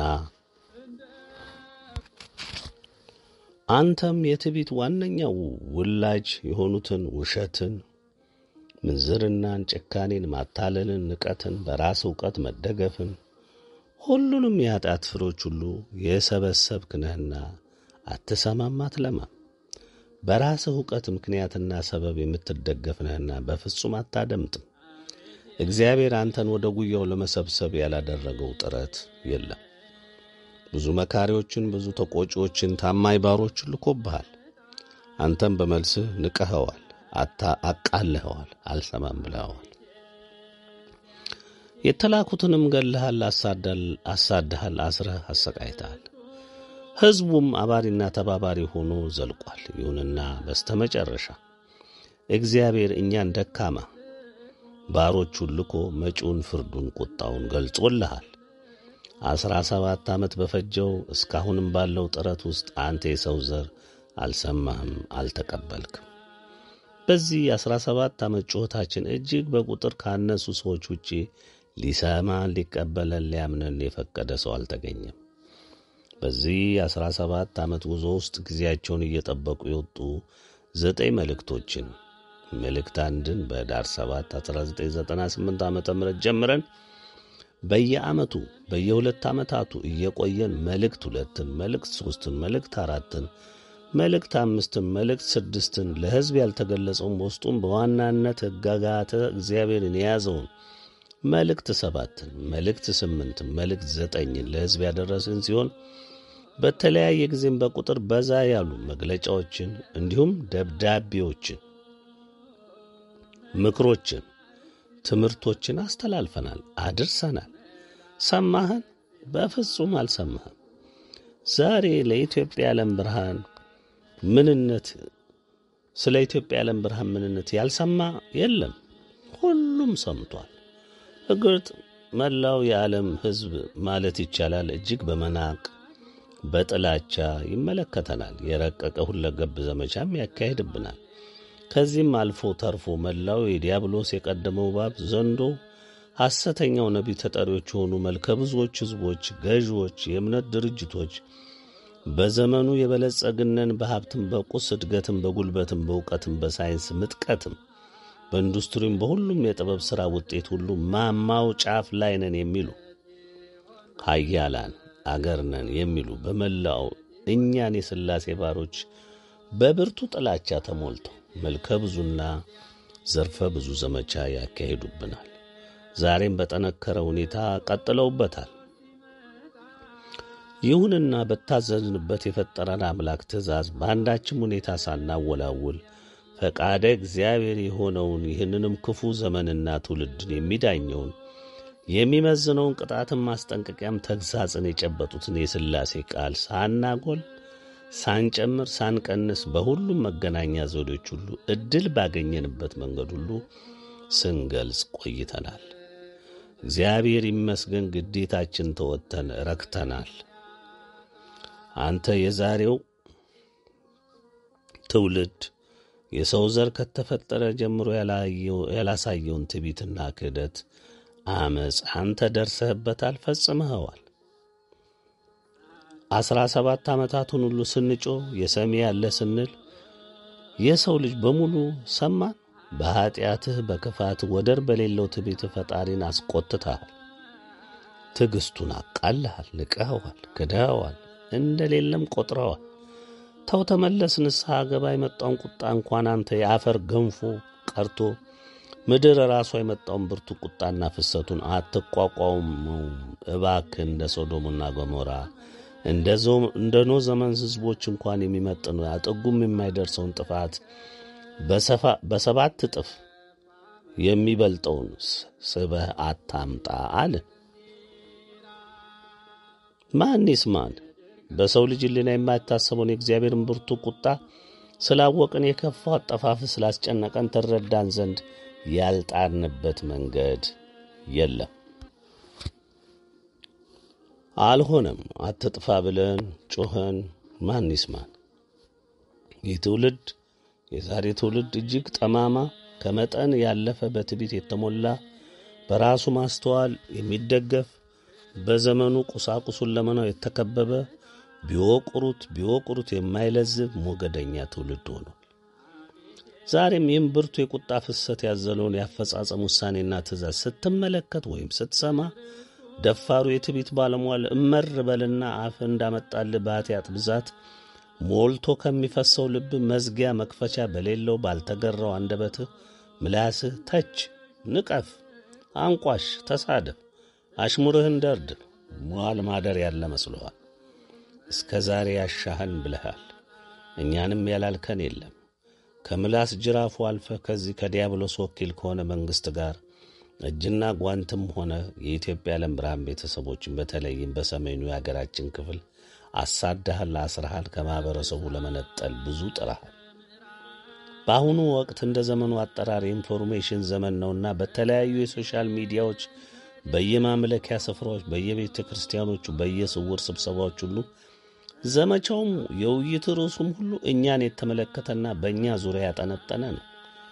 የምንጠፋበት ስልት ሁሉ የሚነደፈው እኛን የኢትዮጵያ ዓለም ብርሃን ቤተሰቦችን ከምድረ ገጽ ሁሉ ላይ ለማጥፋት ነው። እውነቱ ግን አሁን ጊዜም ሳይፈጅ የምትጠፋው አንተ ጠማማው ትውልድ ነህ እንጂ እኛ የልዑል ባሮች አይደለንም። አድምጥ፣ ዛሬም ታሪክና እውነቱ በአንተ ይደገማል። እንደ ፈርዖን እንዲሁም እንደ ቅርቡ ዘመን የሰው አውሬ የሆነው ሂትለር በትዕቢት፣ በጭካኔ፣ በክህደት፣ በዘረኝነት፣ በውሸት የተሞላ ራስን እንደ ዘላለም ነዋሪ የቆጠርክ የእግዚአብሔር ትዕግሥትን በንቀት በሹፈት የምትመለከት ስለሆነ ዛሬም ይህ መልእክት ሲወጣ እንደ ለመድከው ከአፍህ ለምታወጣው የከረፋ የትችት፣ የፌዝ፣ የሹፈት ቃልህ እንዴት እንደምትከፍል እኛ የእግዚአብሔር ሕዝቦች በሚገባ ስለተረዳ ነው። ያሻህን ብትል እናዝልልሃለን እንጂ አንከፋም። የኋላው ጥፋትህ በጀርባ የተሸከምከው ብርቱ ፍርድ እኛ የምናየውን እንኳን በታላቅ መጨነቅ እየጠበቅነው ነው። እጅግ አስፈሪ አስጨናቂ ነውና የዘመኑ ፈርዖኖች መላውን ዓለም ሞልተው እየፈሰሱ ባሉበት ሰዓት ውስጥ የፈርዖንን የትዕቢት ልብና ክህደት፣ ጥላቻና ንቀት፣ ድፍረትና እልኸኝነት ዛሬም በአለቃና ምንዝሮች፣ በገዢዎች፣ በእምነት አለቆችና ልማድ የወሰዳቸው ተመላላሾች ባውቃለሁ ባይነት በምሁርነት ካባ የተጀቦኑ በሥጋውም በመንፈሳዊም ዓለም ካለኛ ማን አለ የሚሉ መድረኩንም ቤተ አገዛዙንም ቤተ እምነቱንም የሞሉት ሁሉ መላውን ሕዝብ ቀይደው ለዲያብሎስ ግዳይ ጥለው በቢሊዮን የተቆጠረውን ሕዝብ ለመጨረሻው የሰዓት ራትነት አብቅተውታል። የሚገርም ዘመን፣ የሚያስደምም ትውልድ፣ በግድ ፍረድብኝ አጥፋይ ብሎ የእግዚአብሔርን ቁጣ ዘወትር በመቀስቀስ የሚተጋ ትውልድ። እስኪ እዩት፣ ነገ ከአፈር በታች ሊከደን ዛሬ የሚሰጠውን መልስ ስሙት። የሚያስገርም ዘመን ውስጥ ነን ያልኩት በዚህ ነው። በእያንዳንዱ አንገት ላይ የመጨረሻይቱን ትእዛዝ የሚጠባበቁት ቀሳፊ መላእክት የሳት ሰይፋቸውን ወድረውበት፣ እሱ ግን ገና ኗሪ ነው። ሊኖር ላይ ታች ሲል እናየዋለን። በራሱ ትዕቢት አዳሪ ነው። ምድርም በእሱ የተፈጠረች የምትታዘዝም የሚመስለው ትውልድ ነው። መላ የአዳም ዘር ምን ብንልህ ይሻልህ ነበር? ምንስ ያላልህ ነገር አለ? ፈርዖን የእስራኤልን ሕዝብ ይለቅ ዘንድ ከእግዚአብሔር ዘንድ ፍርድ ሲመጣ እንዴት ተቀበለው? እንዴትስ የተላኩትን የእግዚአብሔር ባሮች አስተናገደ? ምንስ አላቸው? ምንስ ፈጸመ? መጨረሻውስ ምን ሆነ?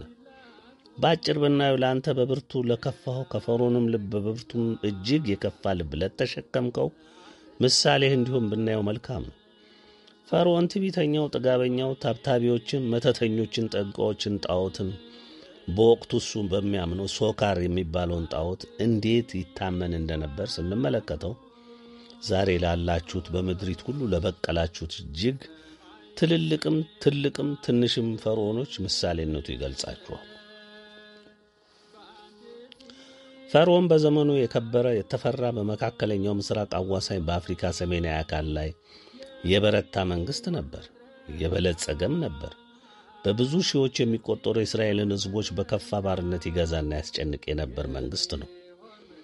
በዚህ የተደላደለ ሕይወት ውስጥ የሚኖረው የግብፁ መንግሥት መሪ ፈርዖን በፍጹም ያላሰበው ብርቱ ፈተና ገጠመው። እግዚአብሔር ለፍርድ መጣበት። የእግዚአብሔር ቃል እንዲህ ይለናል። ኦሪት ዘጸአት ምዕራፍ ዘጠኝ እግዚአብሔርም ሙሴን እንዲህ አለው፣ ወደ ፈርዖን ዘንድ ገብተህ ንገረው፣ የዕብራውያን አምላክ እግዚአብሔር እንዲህ ይላል ያገለግሉኝ ዘንድ ሕዝቤን ልቀቅ። ልትለቅቃቸውም እምቢ ብትል ብትይዛቸውም እነሆ የእግዚአብሔር እጅ ይልና ብዙ በቁጥር ከአስር ያላነሱ መቅሰፍቶችን በግብፅ ሕዝብ ላይ እያከታተለ አወረደ። ፈርዖን ግን የእግዚአብሔር ሕዝቦችን እስከ መለመን ድረስ ሄዶ መከራው ሲቀልለት ተመልሶ በዚያው በለመደው ትቢቱ በመቀጠል በእስራኤል ሕዝቦችም ላይ መከራውን ከበፊቱ አብልጦ ያከብድ ነበር። እግዚአብሔር በሚወርዱት መቅሰፍቶች ሁሉ የፈርዖን ልብ እንዲጸና አደረገ። ሕዝቡንም አልለቅም አለ። ይህም ለእግዚአብሔር ሕዝቦችና እረኞች ለነ ሙሴ ፈተና ሆነ። እግዚአብሔርም ሙሴን በፈርዖንና በግብፅ ላይ ገና አንዲት ታላቅ መቅሰፍት አመጣለሁ፣ ከዚያ ወዲያም ይለቃችሁማል አለ። እግዚአብሔር በተናገረው ቃሉ መሠረት ታላቁን ቁጣ በግብፅ ላይ አወረደ። የግብፅ ሕዝብም አለቃና ምንዝርም ሁሉም እንስሳውም ሁሉ ውስጥ ያለ በኩር ልጅ ሁሉ በሞት እንዲወሰድ አዘዘ። በዚህ መሠረት በግብፅ ሁሉ ሞት በየቤቱ ነገሰ። ታላቅ ድንጋጤም ሆነ። ግብፃውያንም ፈርዖንም የእስራኤል ሕዝቦችን እነሆ ወርቃችሁን፣ እነሆ ውድ ዕቃዎቻችሁን ውሰዱት፣ ብቻ ዘር ማንዘራችሁን ከማለቁ በፊት ያሻችሁን ይዛችሁ ሂዱ በለው ለመኑ። ፈርዖንም ለመነ። እግዚአብሔር እንደተናገረ አንዳችም ሳይጎል ተፈጸመ። የእስራኤልም ሕዝብ ከግብፅ ባርነት እስከ ዘላለም ነፃ ወጣ። እግዚአብሔር በዘመኑ ሁሉ ሁሉንም የአዳም ዘር ከሚሄድበት የጥፋት መንገድ ለመመለስ ለመታደግ፣ ለማዳን ብዙ ምክሮችን፣ ብዙ ተግሳሶችን ይሰነዝራል። የሰውን ልጅ አብዝቶ ስለሚወድና ከሁሉም አልቆ ለዘላለማዊ ክብር ያጨው በመሆኑ እጅግ አብዝቶ ሲታገሰው ኖሯል። ታዲያ የሰው ልጅ አዳመጠ? በፍጹም። መቼም በዚች ምድር ስንኖር ሁሉም ነገር ማብቂያ እንዳለው እንደምንረዳ ግልጽ ነው። ይህንን የማንረዳ ሰው የማይረዳ ሰውም አለ ካልን ያ ሰው አእምሮ በትክክል ለማሰቡ የሚያጠራጥር ነው ብንል ስህተት የለውም። አባቶቻችን ፈተና፣ ችግር ሲገጥማቸው በመጀመሪያ የሚያዩት የራሳቸውን ጉድለት ከእምነታቸው አኳያ የተፈጠረን ጥፋት ነው። እግዚአብሔርን ያስቀየሙበትን ጥፋት ይመረምራሉ፣ ያስተውላሉ። በዚያ ላይ ተመስርተው ወደ ፈጣሪያቸው በጉባኤም በግልጽም ጾም ጸሎት አውጀው በፈጣሪ ፊት ራሳቸውን አዋርደው በብርቱ እንባና ጩኸት ይወድቃሉ። እግዚአብሔርም ይሰማቸዋል። የነኖዌን ሕዝብ እንደ ምሳሌ ማየት እንችላለን። እስራኤላውያን በተደጋጋሚ በሚሰሩት ኃጢአት ምክንያት እንዲሁ የተለያየ አይነትና መጠን ያለው ቅጣት ከእግዚአብሔር ሲሰነዘርባቸው በፊቱ ይወድቃሉ፣ ይጸጸታሉ። ወዲያውም እግዚአብሔር ይምራቸዋል። ይህ እውነት በዘመኑ ሁሉ እግዚአብሔር የሰው ልጅ ያኖረበት፣ የመከረበት፣ ያሳደገበት ጥቂቶችንም ለዘላለማዊ ክብር እንዲበቁ ያደረገበት የእውነት መንገዱ ነበር። የሰው ልጅ በየዘመኑ እያሳዘነው ለእሱ ያዘጋጀለትን መልካም ነገር በመናቅ በዚች ምድር ባለች ጊዜያዊ የሥጋ ገበያ በመደለል አብዛኛውን ዕድሜውን በጥፋት መንገድ እየሄደ ወደ መፈጸሚያው ሄዷል። ዛሬ ያለው ትውልድ ደግሞ በእውነቱ ለመናገር በሰው ልጅ ታሪክ ውስጥ ከዚህ ቀደም ተደርጎም ተሰምቶም ታይቶም የማያውቅ የኀጢአቶች ዐይነትና በሕይወት ሁሉ አንግሶ ፈጣሪውንም ሙሉ በሙሉ ክዶ በዚያው ጸንቶ ቆሞ ይታያል። እንግዲህ የአዳም ዘር የሆንክ የሰው ልጅ ሆይ ለመጨረሻ ጊዜ ዛሬን የምታደምጠው የፍርድ አፈጻጸም ውሳኔና ትእዛዝ በቀደሙት መልእክቶች ውስጥ እንደተገለጸልህ ያለውን ፍርድ ውሳኔ በየደረጃው ተግሳጹን ብቻ እያይኸው በየደረጃው ተግሳጹን ብቻ እያይኸው መጥተሃል። ከመጀመሪያው መልእክት መውጣት ጀምሮ በመላው ዓለም የነገሰውን የከፋ የኀጢአት አዝመራ አንተው ስታዘምረው ኖረሃል። እግዚአብሔርን መፍራት ንቀህ እንዲያውም የለህም ያንተም አምላክነት አላውቅም ብለህ በድፍረት ተናግረህ እንደ ወሰንከውም በተግባር በክህደት በአመፅ በድፍረት ሁሉንም የኀጢአቶች ገንዘብ አድርገሃቸዋል። የእነዚህ ኀጢአቶች ባለቤትና አስፈጻሚ እንዲሁም ባለሟል ሁነህ ተገኝተሃል። ዛሬ እጅግ የከፋውን ፍርድህን በግልጽ ልትጎነጨው ቀርበሃል።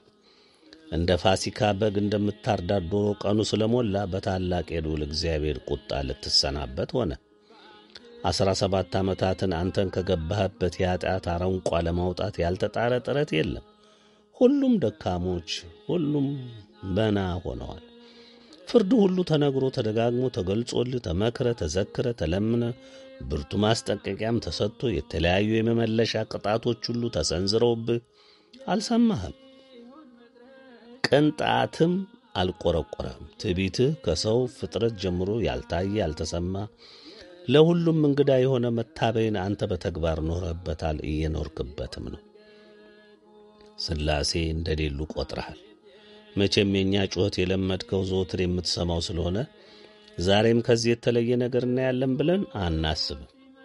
ይሁንና የዛሬው መልእክት ውስጥ የምታየው በርዕሱ የተገለጸው የአፈጻጸም ውሳኔና ትእዛዝ የሚለው ቃል ከሌሎች ቀደምት መልእክቶች በምን ይለያል? አሁን ላንተ ለማታስተውለው የቀደሙትንም መልእክቶች ማንበቡ ቀርቶ በጆሮ በድምፅ ቀርቦልህ ስላልሰማኸው ዛሬም ቢነገርህ ስለማትሰማ ለአንተ ለደነበሽከው ትውልድ ማናቸው መልእክቶቻችንም፣ መግለጫዎቻችንም፣ ትምህርቶቻችንም ሁሉም ፍርድ አዘል ቃሎች ከንቱ ናቸው። ለእኛ አይገርመንም። ለማንኛውም የዛሬው ፍጹም የተለየ መሆኑን ልትረዳ ይገባል። ፍጹምም ይለያል። እንዴት የሚለውን እንየው። መልእክት አንድንም ሁለትንም ልብ ብለህ ይው ለመላ አዳም ዘር በሙሉ ዛሬ እየሠራ ላለው የከፋ ኃጢአት ሁሉ በእግዚአብሔር ፊት ተዳኝቶ የወጣውን የፍርድ ቃልና ተግሣጽ የሚመጣውንም መቅሰፍት በትር ሁሉ በየደረጃው የገለጸልህ ሲሆን ለንስሐም በተደጋጋሚ ተጠርተሃል፣ ተመለስም ተብልሃል። የዓለም ዕጣ ፈንታ ምን እንደሚሆን በግልጽ ተረጋግጦልሃል። በመልእክት ሁለት የመጀመሪያውን መልእክት ፍርድ በማጽናት ለምልክትም የሚሆኑ ቅጣቶችን በማጽናት የዓለም የፋይናንስ ውድቀትን፣ የሙቀት መጨመርን፣ ሌሎችንም በተግባር በምልክትነት አሳይቶሃል። በመልእክት ሦስት ሁሉንም ሀገራት በመጥቀስ በየራሳቸው የተወሰነባቸውን የተፈረደባቸውን ባይመለሱ የሚገጥማቸውን በግልጽ ተነገረ። አልሰማህም። አራተኛው መልእክት በኢትዮጵያ ጉዳይ ብቻ ያነጣጠረ ፍርድን ገለጸ። የወያኔውን መሪና መንግሥቱን ቅድመ ሁኔታን በማስቀመጥ እምቢ ቢል የሚገጥመውን ፍርድ ተገለጸ። በተለይ ለመለስ ዜናዊ ሦስት ደብዳቤዎች በተከታታይ የተላኩ መሆናቸውን ሁሉም ሰው እንዲያውቀው ተደረገ። አልሰማችሁም። አምስተኛው መልእክት እጅግ የከበደውን የፍርድ ቃል ይዞ መጣ። እንደ ቃሉም ዓለም የሚገጥማት ብርቱ ጉዳት ሁሉ በግልጽ ተገለጸ። አልሰማችሁም።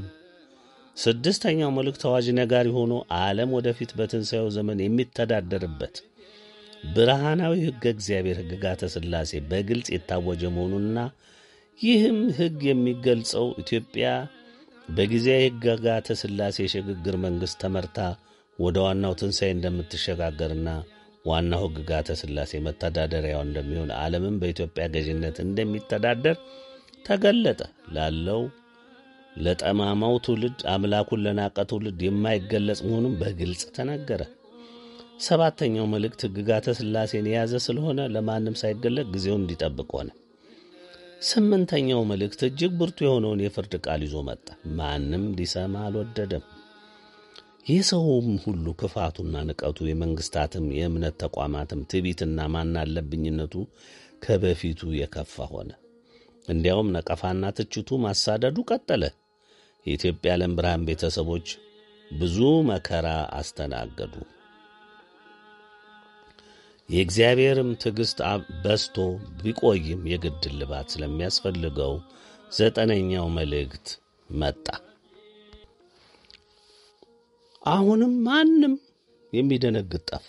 ብርቱና የከበደ አዋጅ መላውን ዓለም በፍርድ የሚይዝና የሚያጠፋ በሁሉም ዓለም ላይ ተፈጻሚ የሚሆን ውሳኔ ይዞ መጣ። አልሆነም። መላው ዓለም በእንቢታው ጸና።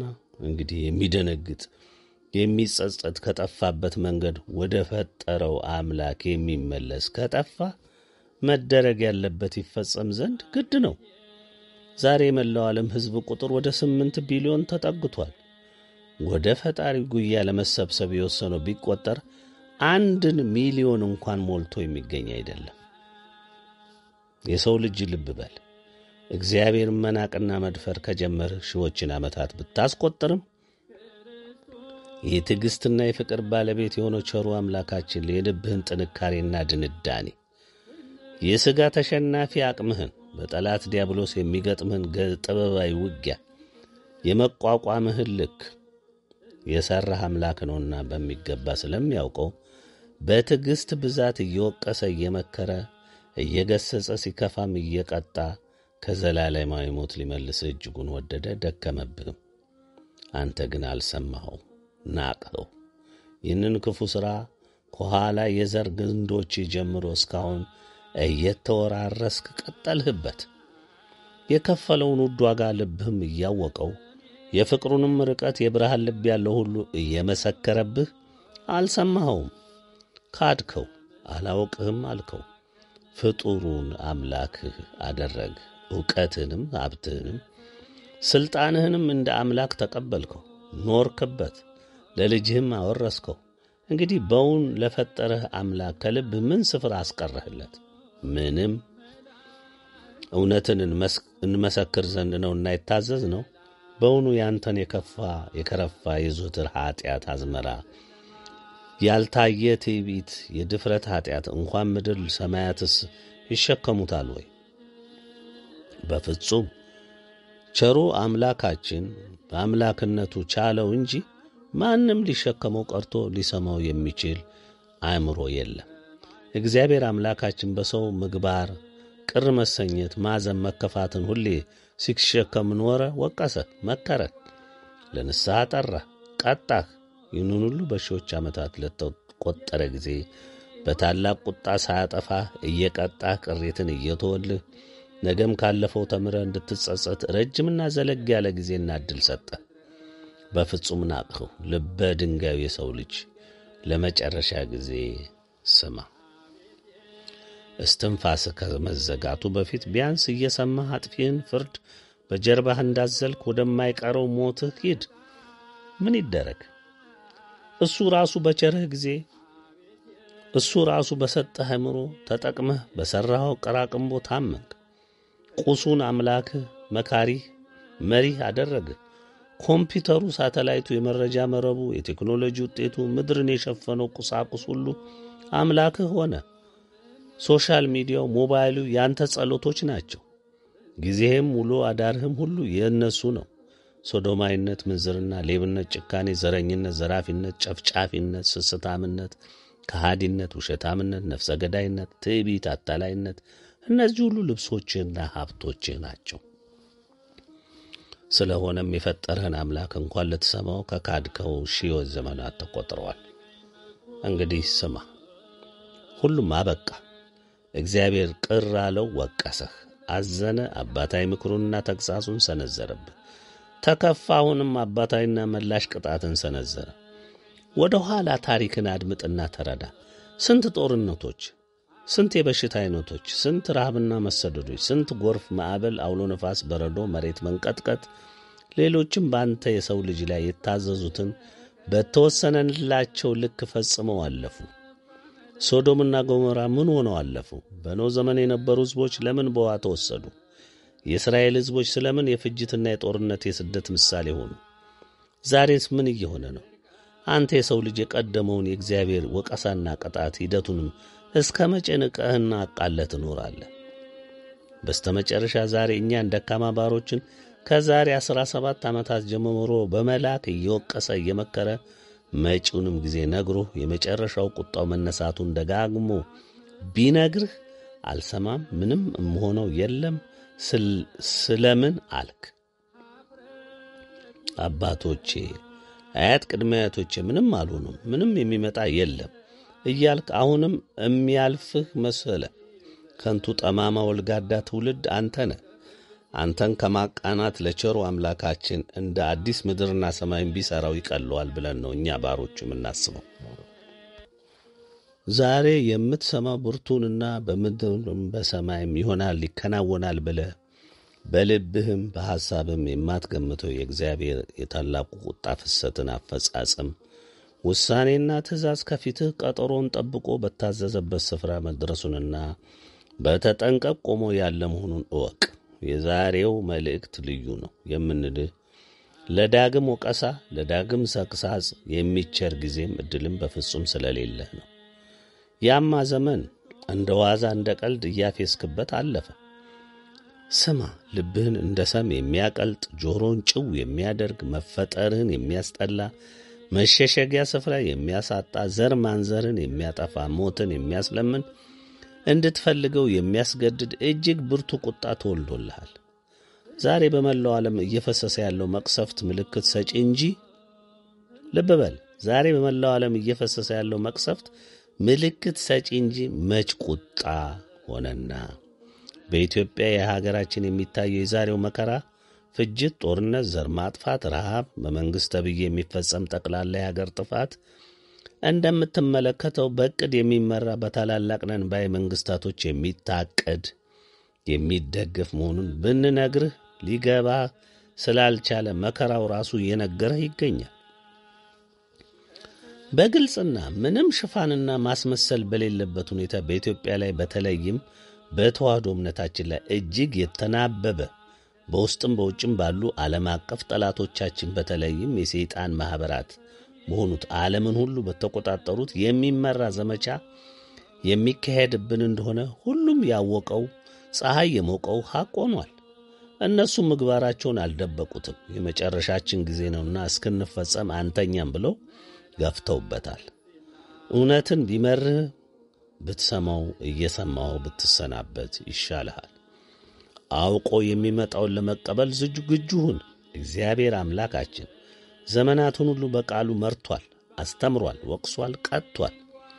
እንደ ቃሉ በየዘመኑ ሁሉ ዳኝቷል። ለአባቶቻችን እንደ ቃሉ እንደ ፈቃዱ የሄዱትን ባርኳቸዋል፣ የካዱትን ያልሰሙትን መርገምን አጣብቆባቸዋል። እግዚአብሔር ቀደም ምን አለ? በተለይ ስለ መርገምና ስለ መባረክ ስለ መረገምና ስለ መባረክ ለዘመን ሁሉ እንዲያገለግል ምንን ቃል አስቀመጠ? በኦሪት ዘዳግም ምዕራፍ 28 ስለ መባረክ ምን ተናገረ? ስለ መረገምስ እንዲህ ይሆናል፣ እንዲህም ይሆናል። የአምላክ የእግዚአብሔር ቃል ብትሰማ ዛሬም ያዘዝሁትን ትእዛዝ ሁሉ ብታደርግ ብትጠብቅም አምላክ እግዚአብሔር ከምድር አሕዛብ ሁሉ ለይቶ ከፍ ከፍ ያደርግሃል። የአምላክን የእግዚአብሔርን ቃል ብትሰማ እነዚህ በረከቶች ሁሉ ይመጡልሃል፣ ያገኙሁማል። አንተ በከተማ ብሩክ ትሆናለህ፣ በእርሻህም ብሩክ ትሆናለህ። የሆድህም ፍሬ፣ የምድርህም ፍሬ፣ የከብትህም ፍሬ፣ የላምህም ርቢ፣ የበግህም ርቢ ብሩክ ይሆናል። እንቅብህና ቡሃቃህም ብሩክ ይሆናል። አንተም በመግባትህ ብሩክ ትሆናለህ፣ በመውጣትም ብሩክ ትሆናለህ። እግዚአብሔርም በላይ የሚቆሙትን ጠላቶችን በፊት የተመቱ ያደርጋቸዋል። በአንድ መንገድ ይመጡብሃል፣ በሰባት መንገድ ከፊትህ ይሸሻሉ። እግዚአብሔር በረከቱ ባንተ ላይ በጎተራ በእጅህም ሥራ ሁሉ እንዲወርድ ያዛል። አምላክህ እግዚአብሔር በሚሰጥ ምድር ይባርክሃል። የአምላክን የእግዚአብሔርን ትእዛዝ ብትጠብቅ በመንገዱም ብትሄድ እግዚአብሔር እንደማለልህ ለእርሱ የተቀደሰ ሕዝብ አድርጎ ያቆምሃል። የምድር አሕዛብ ሁሉ የእግዚአብሔር ስም በአንተ ላይ እንደተጠራ አይተው ይፈሩሃል። እግዚአብሔርም እርሷን ይሰጥ ዘንድ ለአባቶች በማለላቸው በምድርህ ላይ በወድህ ፍሬ፣ በከብት ፍሬ፣ በእርሻም ፍሬ እግዚአብሔር በጎነቱን በላይ ያበዛል። እግዚአብሔርም ለምድርህ በወራቱ ዝናብ ይሰጥ ዘንድ የእጅህንም ሥራ ሁሉ ይባርክ ዘንድ መልካሙን መዝገብ ሰማያዊውን ይከፍትልሃል። ለብዙ አሕዛብም ታበድራለህ፣ አንተ ግን ከማንም አትበደርም። ዛሬም ያዘዝሁን የአምላክን የእግዚአብሔርን ትእዛዝ ሰምተህ ብትጠብቃት ብታደርጋትም ዛሬም ካዘዝሁ ከእነዚህ ቃሎች ወደ ቀኝም ወደ ግራም ፈቀቅ ባትል ታመልካቸውም ዘንድ ሌሎችን አማልክት ባትከተል እግዚአብሔር ራስ ያደርግሃል እንጂ ጅራት አያደርግም። ሁልጊዜም በላይ እንጂ በታች አትሆንም። ነገር ግን የአምላክን የእግዚአብሔርን ቃል ባትሰማ ዛሬ ያዘዝሁን ሥርዓቱንና ትእዛዙን ሁሉ ባትጠብቅ ባታደርግም እነዚህ መርገሞች ሁሉ ይመጡብሃል፣ ያገኙህማል። በከተማ እርጉም ትሆናለህ፣ በእርሻህም እርጉም ትሆናለህ። እንቅብና ቦሃቃህ እርጉም ይሆናል። የሆድም ፍሬ፣ የምድርም ፍሬ፣ የላምም ርቢ፣ የበግም ርቢ እርጉም ይሆናል። አንተ በመግባትህ እርጉም ትሆናለህ፣ በመውጣትም እርጉም ትሆናለህ። እኔን ስለ ተወኝ ስለ ሥራህ ክፋት እስክትጠፋ ፈጥነህም እስክታልቅ ድረስ በምትሠራው ሁሉ እግዚአብሔር መርገምን፣ ሽሽትን፣ ተግሣጽን ይሰድብሃል። እግዚአብሔር ትወርሳት ዘንድ ከምትገባባት ምድር እስኪያጠፋህ ድረስ ቸነፈርን ያጣብቅብሃል። እግዚአብሔር በክሳት በንዳድም በጥብሳትም በትኩሳትም በድርቅም በዋግም በአረማሞም ይመታሃል። እስክትጠፋም ድረስ ያሳድዱሃል። በራስም ላይ ሰማይ ናስ ይሆንብሃል፣ ከእግርህም በታች ምድሪቱ ብረት ትሆንብሃለች። እግዚአብሔር የምድርህን ዝናብ ትቢያና አፈር ያደርጋል፣ እስክትጠፋ ድረስ ከሰማይ ይወርድብሃል። እግዚአብሔር ከጠላቶች ፊት የተመታ ያደርግሃል፣ ለምድርም አራዊት መብል ይሆናል። በአንድ መንገድ ትወጣባቸዋለህ፣ በሰባት መንገድ ከእነርሱ ትሸሻለህ። ለምድርም መንግሥታት ሁሉ ድንጋጤ ትሆናለህ። ሬሳ ለሰማይ ወፎች ሁሉ ለምድርም አራዊት መብል ይሆናል። የሚያስፈራቸውም የለም። እግዚአብሔር ፈውስ በሌለው በግብፅ ቁስል በባጭም በቋቁቻም በቼፌም ይመታሃል። እግዚአብሔር በብደት በዕውርነት በድንጋጤም ይመታሃል። በቀትርም ጊዜ ዕውር በጨለማም እንደሚርመሰመስ ትርመሰመሳለህ። መንገድም የቀና አይሆንም። በዘመንህም ሁሉ የተጨነቀ የተዘረፍም ትሆናለህ። የሚያድንህም የለም። ሚስት ታጫለህ ሌላው ሰው ከእርሷ ጋር ይተኛል። ቤት ትሠራለህ፣ አትቀመጥበት። ወይን ትተክላለህ፣ ከእርሱም አትበላ። በሬ በፊት ይታረዳል፣ ከእርሱም አትበላም። አህያ ከእጅህ በግድ ይወሰዳል፣ ወደ አንተም አይመለስም። በግህ ለጠላቶችህ ትሰጣለች፣ የሚያድንህም አታገኝም። ወንዶችና ሴቶች ልጆችህ ለሌላ ሕዝብ ይሰጣሉ፣ ዐይኖችም ያሉ ሁልጊዜም ስለ እነርሱ ሲባክኑ ያልቃሉ። በእጅህም ኃይል ምንም አይገኝም። የምድር ፍሬ ድካምህንም ሁሉ የማታውቀው ሕዝብ ይበለዋል። አንተም ሁልጊዜ የተጨነቅ የተገፋም ትሆናለህ። ዐይኖችም ከሚያዩት የተነሣ እብድ ትሆናለህ። እግዚአብሔር ፈውስ በሌለው በክፉ ቁስል ጉልበትና ጭንህን ከእግር ጫማ እስከ አናትህ ድረስ ይመታሃል። እግዚአብሔርም አንተን በአንተም ላይ የምታነግሠውን ንጉሥ አንተና አባቶች ወዳላወቋቸዋቸው ሕዝብ ይወስድሃል። በዚያም ሌሎቹን የእንጨትና የድንጋይ አማልክት ታመልካለህ። እግዚአብሔር በሚያገባ በአሕዛብ መካከል ሁሉ ድንጋጤ ምሳሌም ተረትም ትሆናለህ። እጅግ ዘር ወደ እርሻ ታወጣለህ፣ አንበጣም ይበለዋልና ጥቂት ትሰበስባለህ። ወይን ትተክላለህ፣ ታበጀውም አለህ፣ ትልም ይበለዋልና ከእርሱ ምንም አትሰበስብም። የወይን ጠጁንም አትጠጣም። የወይራ ዛፍ በአገርህ ሁሉ ይሆንልሃል፣ ወይራውም ይረግፋል፣ ዘይቱም አትቀባም። ወንዶችና ሴቶች ልጆች ይወለዱልሃል፣ በምርኮም ይሄዳሉና ለአንተ አይሆኑልህም። ዛፍን ሁሉ የምድርንም ፍሬ ኮከብከዋ ይወርሰዋል። በአንተ መካከል ያለ መጻተኛ በአንተ ላይ ከፍ ከፍ ይላል፣ አንተም ዝቅ ዝቅ ትላለህ። እርሱ ያበድርሃል፣ አንተ ግን አታበድረውም። እርሱ ራስ ይሆናል፣ አንተም ጅራት ትሆናለህ። የአምላክንም የእግዚአብሔርም ቃል ስላልሰማህ ያዘዘንም ትእዛዙንና ሥርዓቱን ስላልጠበቅህ እስክትጠፋ ድረስ እነዚህ መርጎሞች ሁሉ ይወርዱብሃል፣ ያሳድዱህማል፣ ያገኙህማል። በአንተም በልጅ ልጅህም ላይ ለዘላለም ለምልክትና ለድንቅ ይሆናሉ። ሁሉን አብዝቶ ስለ ሰጠ አምላክን እግዚአብሔርን በፍስሐና በሐሴት አላመለክህምና በራብና በጥማት በራቁትነቱም ሁሉንም በማጣት እግዚአብሔር ለሚልክብህ ለጠላቶች ትገዛለህ። እስኪያጠፉም ድረስ በአንገትህ ላይ የብረት ቀንበር ይጭናሉ። እግዚአብሔር ቋንቋቸውን የማታውቀውን ፊታቸውን የደነደነውን ሽማግሌውንም የማይፈሩትን ሕፃኑንም የማይምሩትን ሕዝብ ንስር እንደሚበር ከሩቅ አገር ከምድርም ዳር ያመጣባል። እስክትጠፋ ድረስ የከብቶችንም ፍሬ የምድርንም ፍሬ ይበላሉ። እስኪያጠፉህም ድረስ እልህን፣ የወይን ጠጅ ዘይትንም፣ የላመን የበግንም ርቢ አይተውልህም። በአገር ሁሉ ያሉ ትታመንባቸው የነበሩ የረዘሙ የወጸኑም ቅጥሮች እስኪፈርሱ ድረስ በከተሞች ደጆች ሁሉ ከበው ያስጨንቁሃል። ጠላቶችም ከበው ባስጨነቁና መከራ ባሳዩ ጊዜ አምላክ እግዚአብሔር የሚሰጥህን የሆድን ፍሬ የወንዶችና የሴቶች ልጆችን ሥጋ ትበላለህ። በአንተ ዘንድ የተለሳለሰና በቅምጥልነት ሁልጊዜ ይኖር የነበረ ሰው በወንዱም አቅፋው በምትተኛ በሚስቱ በቀሩትም ልጆቹ ይቀናል። በደጆች ሁሉ ውስጥ ጠላቶች ከበው ባስጨነቁና መከራ ባሳዩ ጊዜ ሌላ ነገር የቀረው የለምና ከሚበላው ከልጆቹ ሥጋ ለአንዱም አይሰጥም።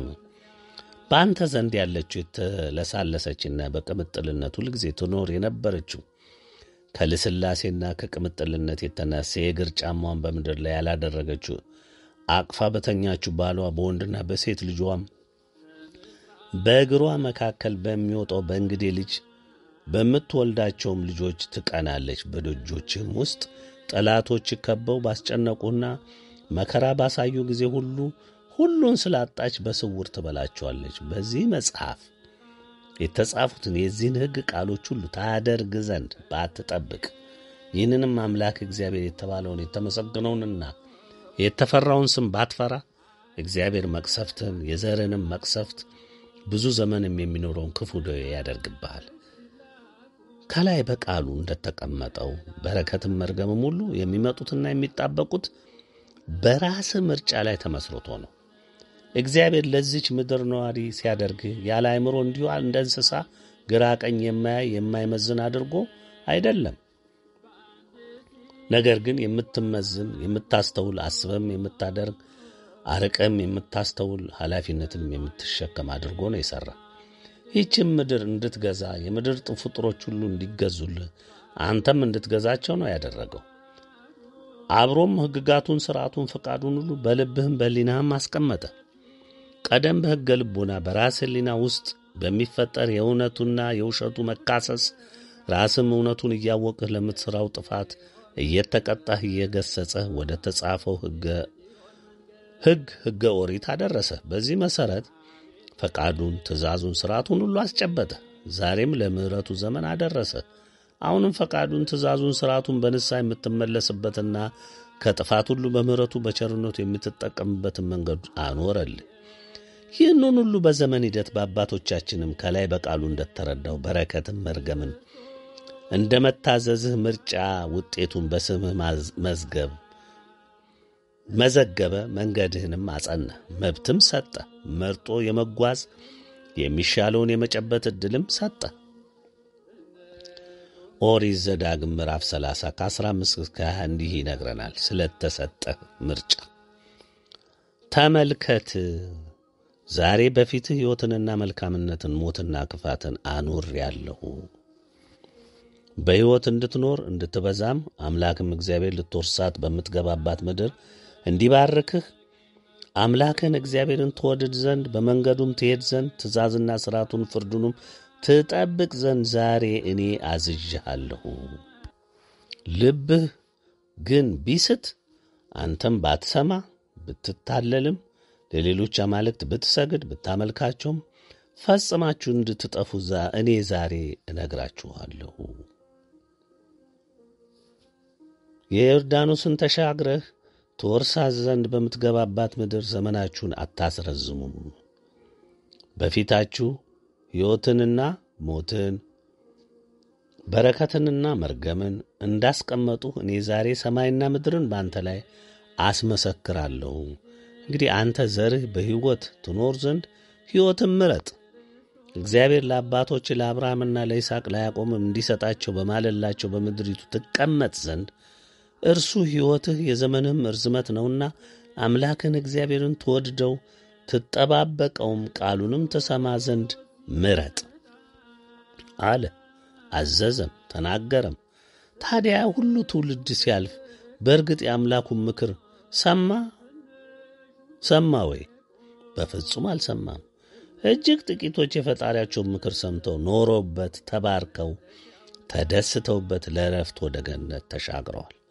እግዚአብሔር በትዕግሥት ብዛት፣ በፍቅሩ ጥልቀት በፍጹም የማይሸከሙትን ዓመፅህን፣ ትዕቢትህን፣ ክህደትን፣ ንቀትን፣ ጥላቻን፣ ጠላትነትን፣ ስድብህን፣ ልጆቹን መግደል፣ ማሳደድን፣ ማሰር፣ መፍጀትን አልፈም ቃሉን፣ ፍቃዱን፣ ትእዛዙን፣ ሥርዓቱን መደለስ፣ መሻር፣ ማጥፋት ምልክቱንም ሁሉ እንዳይታሰብ ማድረግ፣ ቤተ እምነቱን ማፍረስ፣ እንደ አገር፣ እንደ መንግሥት፣ እንደ ማኅበረሰብ፣ እንደ ድርጅት ያለ የሌለ ሀብትን፣ አቅምን፣ ሁለመናህን የእግዚአብሔርን ትእዛዝ፣ ፈቃድ፣ ሥርዓትና ትምህርት ሁሉ ከምድር ለማጥፋት እስከዚች ደቂቃ ድረስ በዘመቻ ላይ ሆንክ። ልብ በል ምክሩ፣ ተግሣጹ፣ ፍርዱ፣ አባታዊ ቅጣቱ ምንም ስሜት አልሰጠም። እንዲያውም አላገጥክበት። እንግዲህ በራስህ ብርቱ ጥረት ታይቶም ተሰምቶም የማያውቀውን እጅግ የከበደውን መመለሻም የሌለውን ብርቱ የሥላሴ ቁጣ አዋልደኸዋል። ማንም ምንም ዘዴ፣ ምልጃ፣ ጩኸት፣ ለቅሶ፣ ዋይታ፣ የእንባ ጎርፍ የማይመልሰውን መልከ ብዙ የሳት መደምሰሻ ልታየው ተወሰነ፣ ታዘዘም። አሁንም ይድረስ በዓለም ሁሉ ፊት ተበተነ ለምትኖር የአዳም ዘር በሙሉ በአብርሃሙ ሥላሴ ትእዛዝ አፈጻጸምና ውሳኔ የወጣ የቀደሙትን መልእክቶችና መግለጫዎች ጠቅላላ የፍርድ ቃሎች መሠረት ያደረገ እጅግ ብርቱ የጸና በሰው ልጅ ታሪክ ተሰምቶም ታይቶም ተደርጎም የማያውቅ የብርቱ ቅጣት አፈጻጸም ውሳኔና ትእዛዝ እንሆ ወጣ። ከሶዶም እጅግ የከፋው ጠማማ ልበ ደንዳናው ትውልድ የመጣብህን ስማና ተሰናበት። ደጋግሜ መፈጸምህን የምነግርህ አንዴ ነግሬ ማብቃት ሲገባኝ ደጋግሜ በየርዕሶች ሁሉ የማነሳው አጠፋፍህ እጅግ ከባድ በመሆኑ መሆኑን ልብ በል። ሐረጎችን የከበዱትን የእግዚአብሔር ውሳኔና ትእዛዞች አፈጻጸሞች በየገጹ የማነሳው በምክንያት ነው። በደረስክበት ገጽ ሁሉ ጉዳዩ ቁርጥ መሆኑን እንድታውቅ እኛ ቀዳማዊ ኢትዮጵያ ዓለም ብርሃናዊ መንግሥት እረኞችና የሥላሴ ባሮች እንደ ፈቃደ ሥላሴ ይህም ብርቱ የከበደ ቅጣት የቅጣት አፈጻጸም ውሳኔና ትእዛዝ ለሁሉም የአዳም ዘር እንገልጻለን። ይህ ብርቱ የአፈጻጸም ውሳኔና ትእዛዝ በሁሉም የምድራችን ገጽታ ላይ በየብሱም በባህሩም ምድራችንን በከበበው ውኃ ውስጥም ሁሉ ተፈጻሚ የሚሆን የአምላካችን የአብ የወልድ የመንፈስ ቅዱስ አህዶ አምላክ የጸና ትእዛዝና ውሳኔ እንዲሁም አፈጻጸም ነውና አንድም ለተፈጻሚነቱ የማይመለከተው የሰው ዘርም ሆነ ተዛማጅ የኀጢአት መተግበሪያ የለም። ሁሉም በትእዛዙና በአፈጻጸሙ ይዳሰሳል።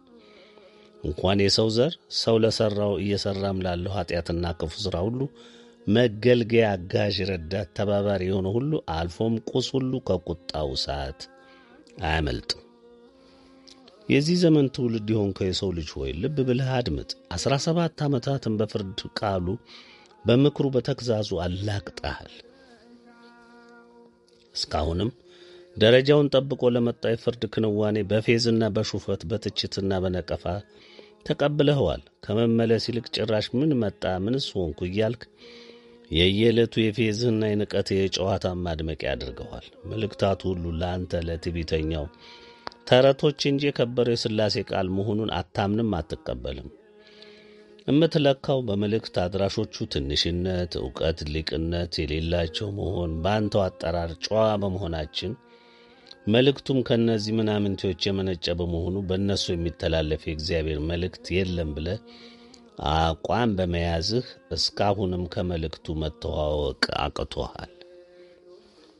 እንግዲህ በአንተ አዋቂ ነኝ በምትለው ሐሳብ እግዚአብሔር መናገር ያለበት በአንተና በመሰሎች ታላላቅ ጳጳሳት፣ መምህራን፣ አባቶች የበቁ የነቁ በምትላቸው በደብር አስተዳዳሪዎች፣ በዲያቆናት፣ በካህናት መሆን አለበት ባይነህ። ይህንንም በተደጋጋሚ ገልጻችኋል።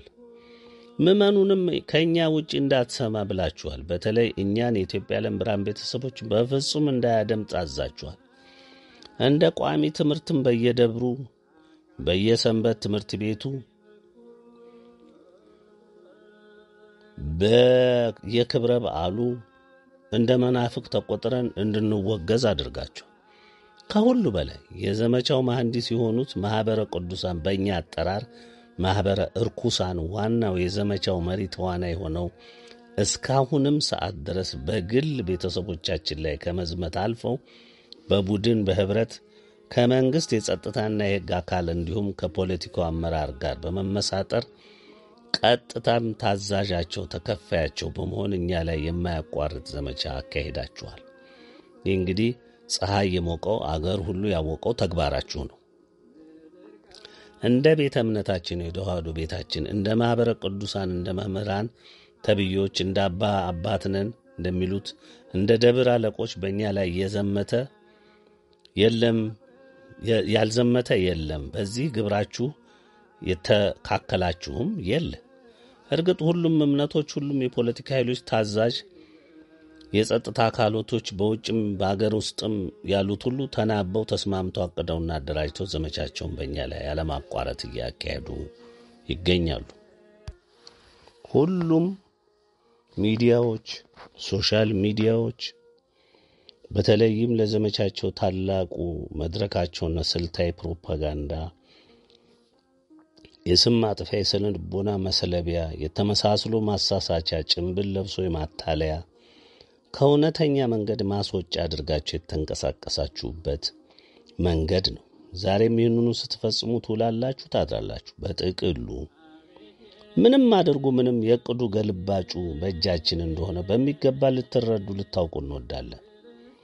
ዛሬም የመጨረሻውን ዕጣ ፈንታችሁን የምግባራችሁ ትርፍና ኪሳራን የምትቀበሉበት ስለሆነ ማንም ከዚህ ስለማያመልጥ ብትጠሉትም ስሙት፣ በፍጹም የማታመልጡበት ዕጣ ፈንታችሁ ነውና የወጡት ፍርድ አዘል የእግዚአብሔር ቃሎች በመልእክት አንድ በህዳር 7 1998 ዓ ም ጀምሮ እስካሁን ሰዓት ድረስ መልእክት ሁለት መልእክት ሶስት መልእክት አራት መልእክት አምስት መልእክት ስድስት መልእክት ሰባት ለሁሉም ያልተገለጸ ሕግጋተ ሥላሴን የያዘ በትንሣኤው ዘመን ብቻ የሚገለጽ መልእክት ስምንት መልእክት ዘጠኝ እነዚህን ሁሉ ሰምታችኋል። በቁጥር የበዙ መግለጫዎችን በተለያየ ጊዜ የወጡ በውስጣቸው የሚያዘሉትን መልእክቶች፣ ትእዛዞች፣ ውሳኔዎች፣ መመሪያዎች፣ ምክሮች ሁሉ ሰምታችኋል። እንዲሁም ሁሉንም ወቅት የሚዳስሱ በየመግለጫው በየትምህርቱ መግቢያና መደምደሚያ ላይ እየወጡ እንድትሰሟቸው እንዲደርሷችሁ ተደርጓል። እንዲሁም ትምህርቶች በተለያየ ርዕስ መንፈሳዊ ሕይወትን የሚያንጹትን እንድትሰሟቸው እንዲደርሱም ተደርጓል። በጥቅሉ ፈቃደ እግዚአብሔርን አሳውቀናል። መታረም ያለበትን አመላክተናል። ለንስሐውም እከሌ ከከሌ ሳንል ሁሉንም የአዳም ዘር ለንስሐ ጠርተናል። በዚህ የንስሐ ጊዜ ፈጥነህ ተጠቀምበት ብለናል። ነገ ከሚመጣው ቁጣ አመልጥ፣ ዳን፣ ወደ እግዚአብሔር ጉያ ተሰብሰቡ ብለናል። እግዚአብሔር ያዘዘንን የፍርድ ቃሉን በተገኘው መንገዱም ሆነ ዘዴ ሁሉ አድርሰናል። ከአንድ መቶ ሀምሳ ባላነሰ በመላው ዓለም በዋናነት በሚነገር ቋንቋ ሁሉ እንዲተረጎመና እንዲሰራጭ አድርገናል። የበረቱ የኢትዮጵያ የዓለም ብርሃን ቤተሰቦች ይህንን አድርገዋል። ሁሉም የ social media ላይ ተላልፈዋል። አልሰማሁም አላየሁም እንዳትል፣ ምክንያቱም ከምትበላውና ከምትጠጣው በላይ በየ social media ው በተለይ በፌስቡክ፣ በዩቲዩብ፣ በቴሌግራሙ፣ በትዊተሩ ወዘተ ተጥደህ የምትውል የምታደር ስለሆነ አልሰማሁም ልትል አትችልም። ቢሊዮኖች እንደሚያዋቸው ራሳቸው social media ዎቹ ሲመሰክሩ የኖሩት ስለሆነ ዛሬም ያው ስለሆነ ማስተባበል አይቻልም። እንግዲህ ምን እንበልህ? ለዋና ዋና የዜና ማሰራጫዎች በዓለም በመላው ዓለም በታላቅነታቸው ለሚታወቁ ዩኒቨርሲቲዎች እንዲደርሳቸው አድርገናል። ታላላቅነን ለሚሉ አገሮች እዚህ ኢትዮጵያ ውስጥ ላስቀመጧቸው ኤምባሲዎቻቸው እንዲደርስ አድርገናል። ለአንዳንዶቹም በቀጥታ እንዲደርሳቸው አድርገናል።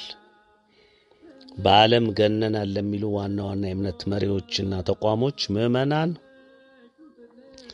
እነ ካቶሊክ፣ እነ መናፍቅ፣ እነ እስላም፣ የኤሽያ እምነቶች፣ ሽንቶይዝም፣ ቡድሂዝም፣ ሌሎችም መልእክታቶቹ እንዲደርሷቸው ተደርጓል።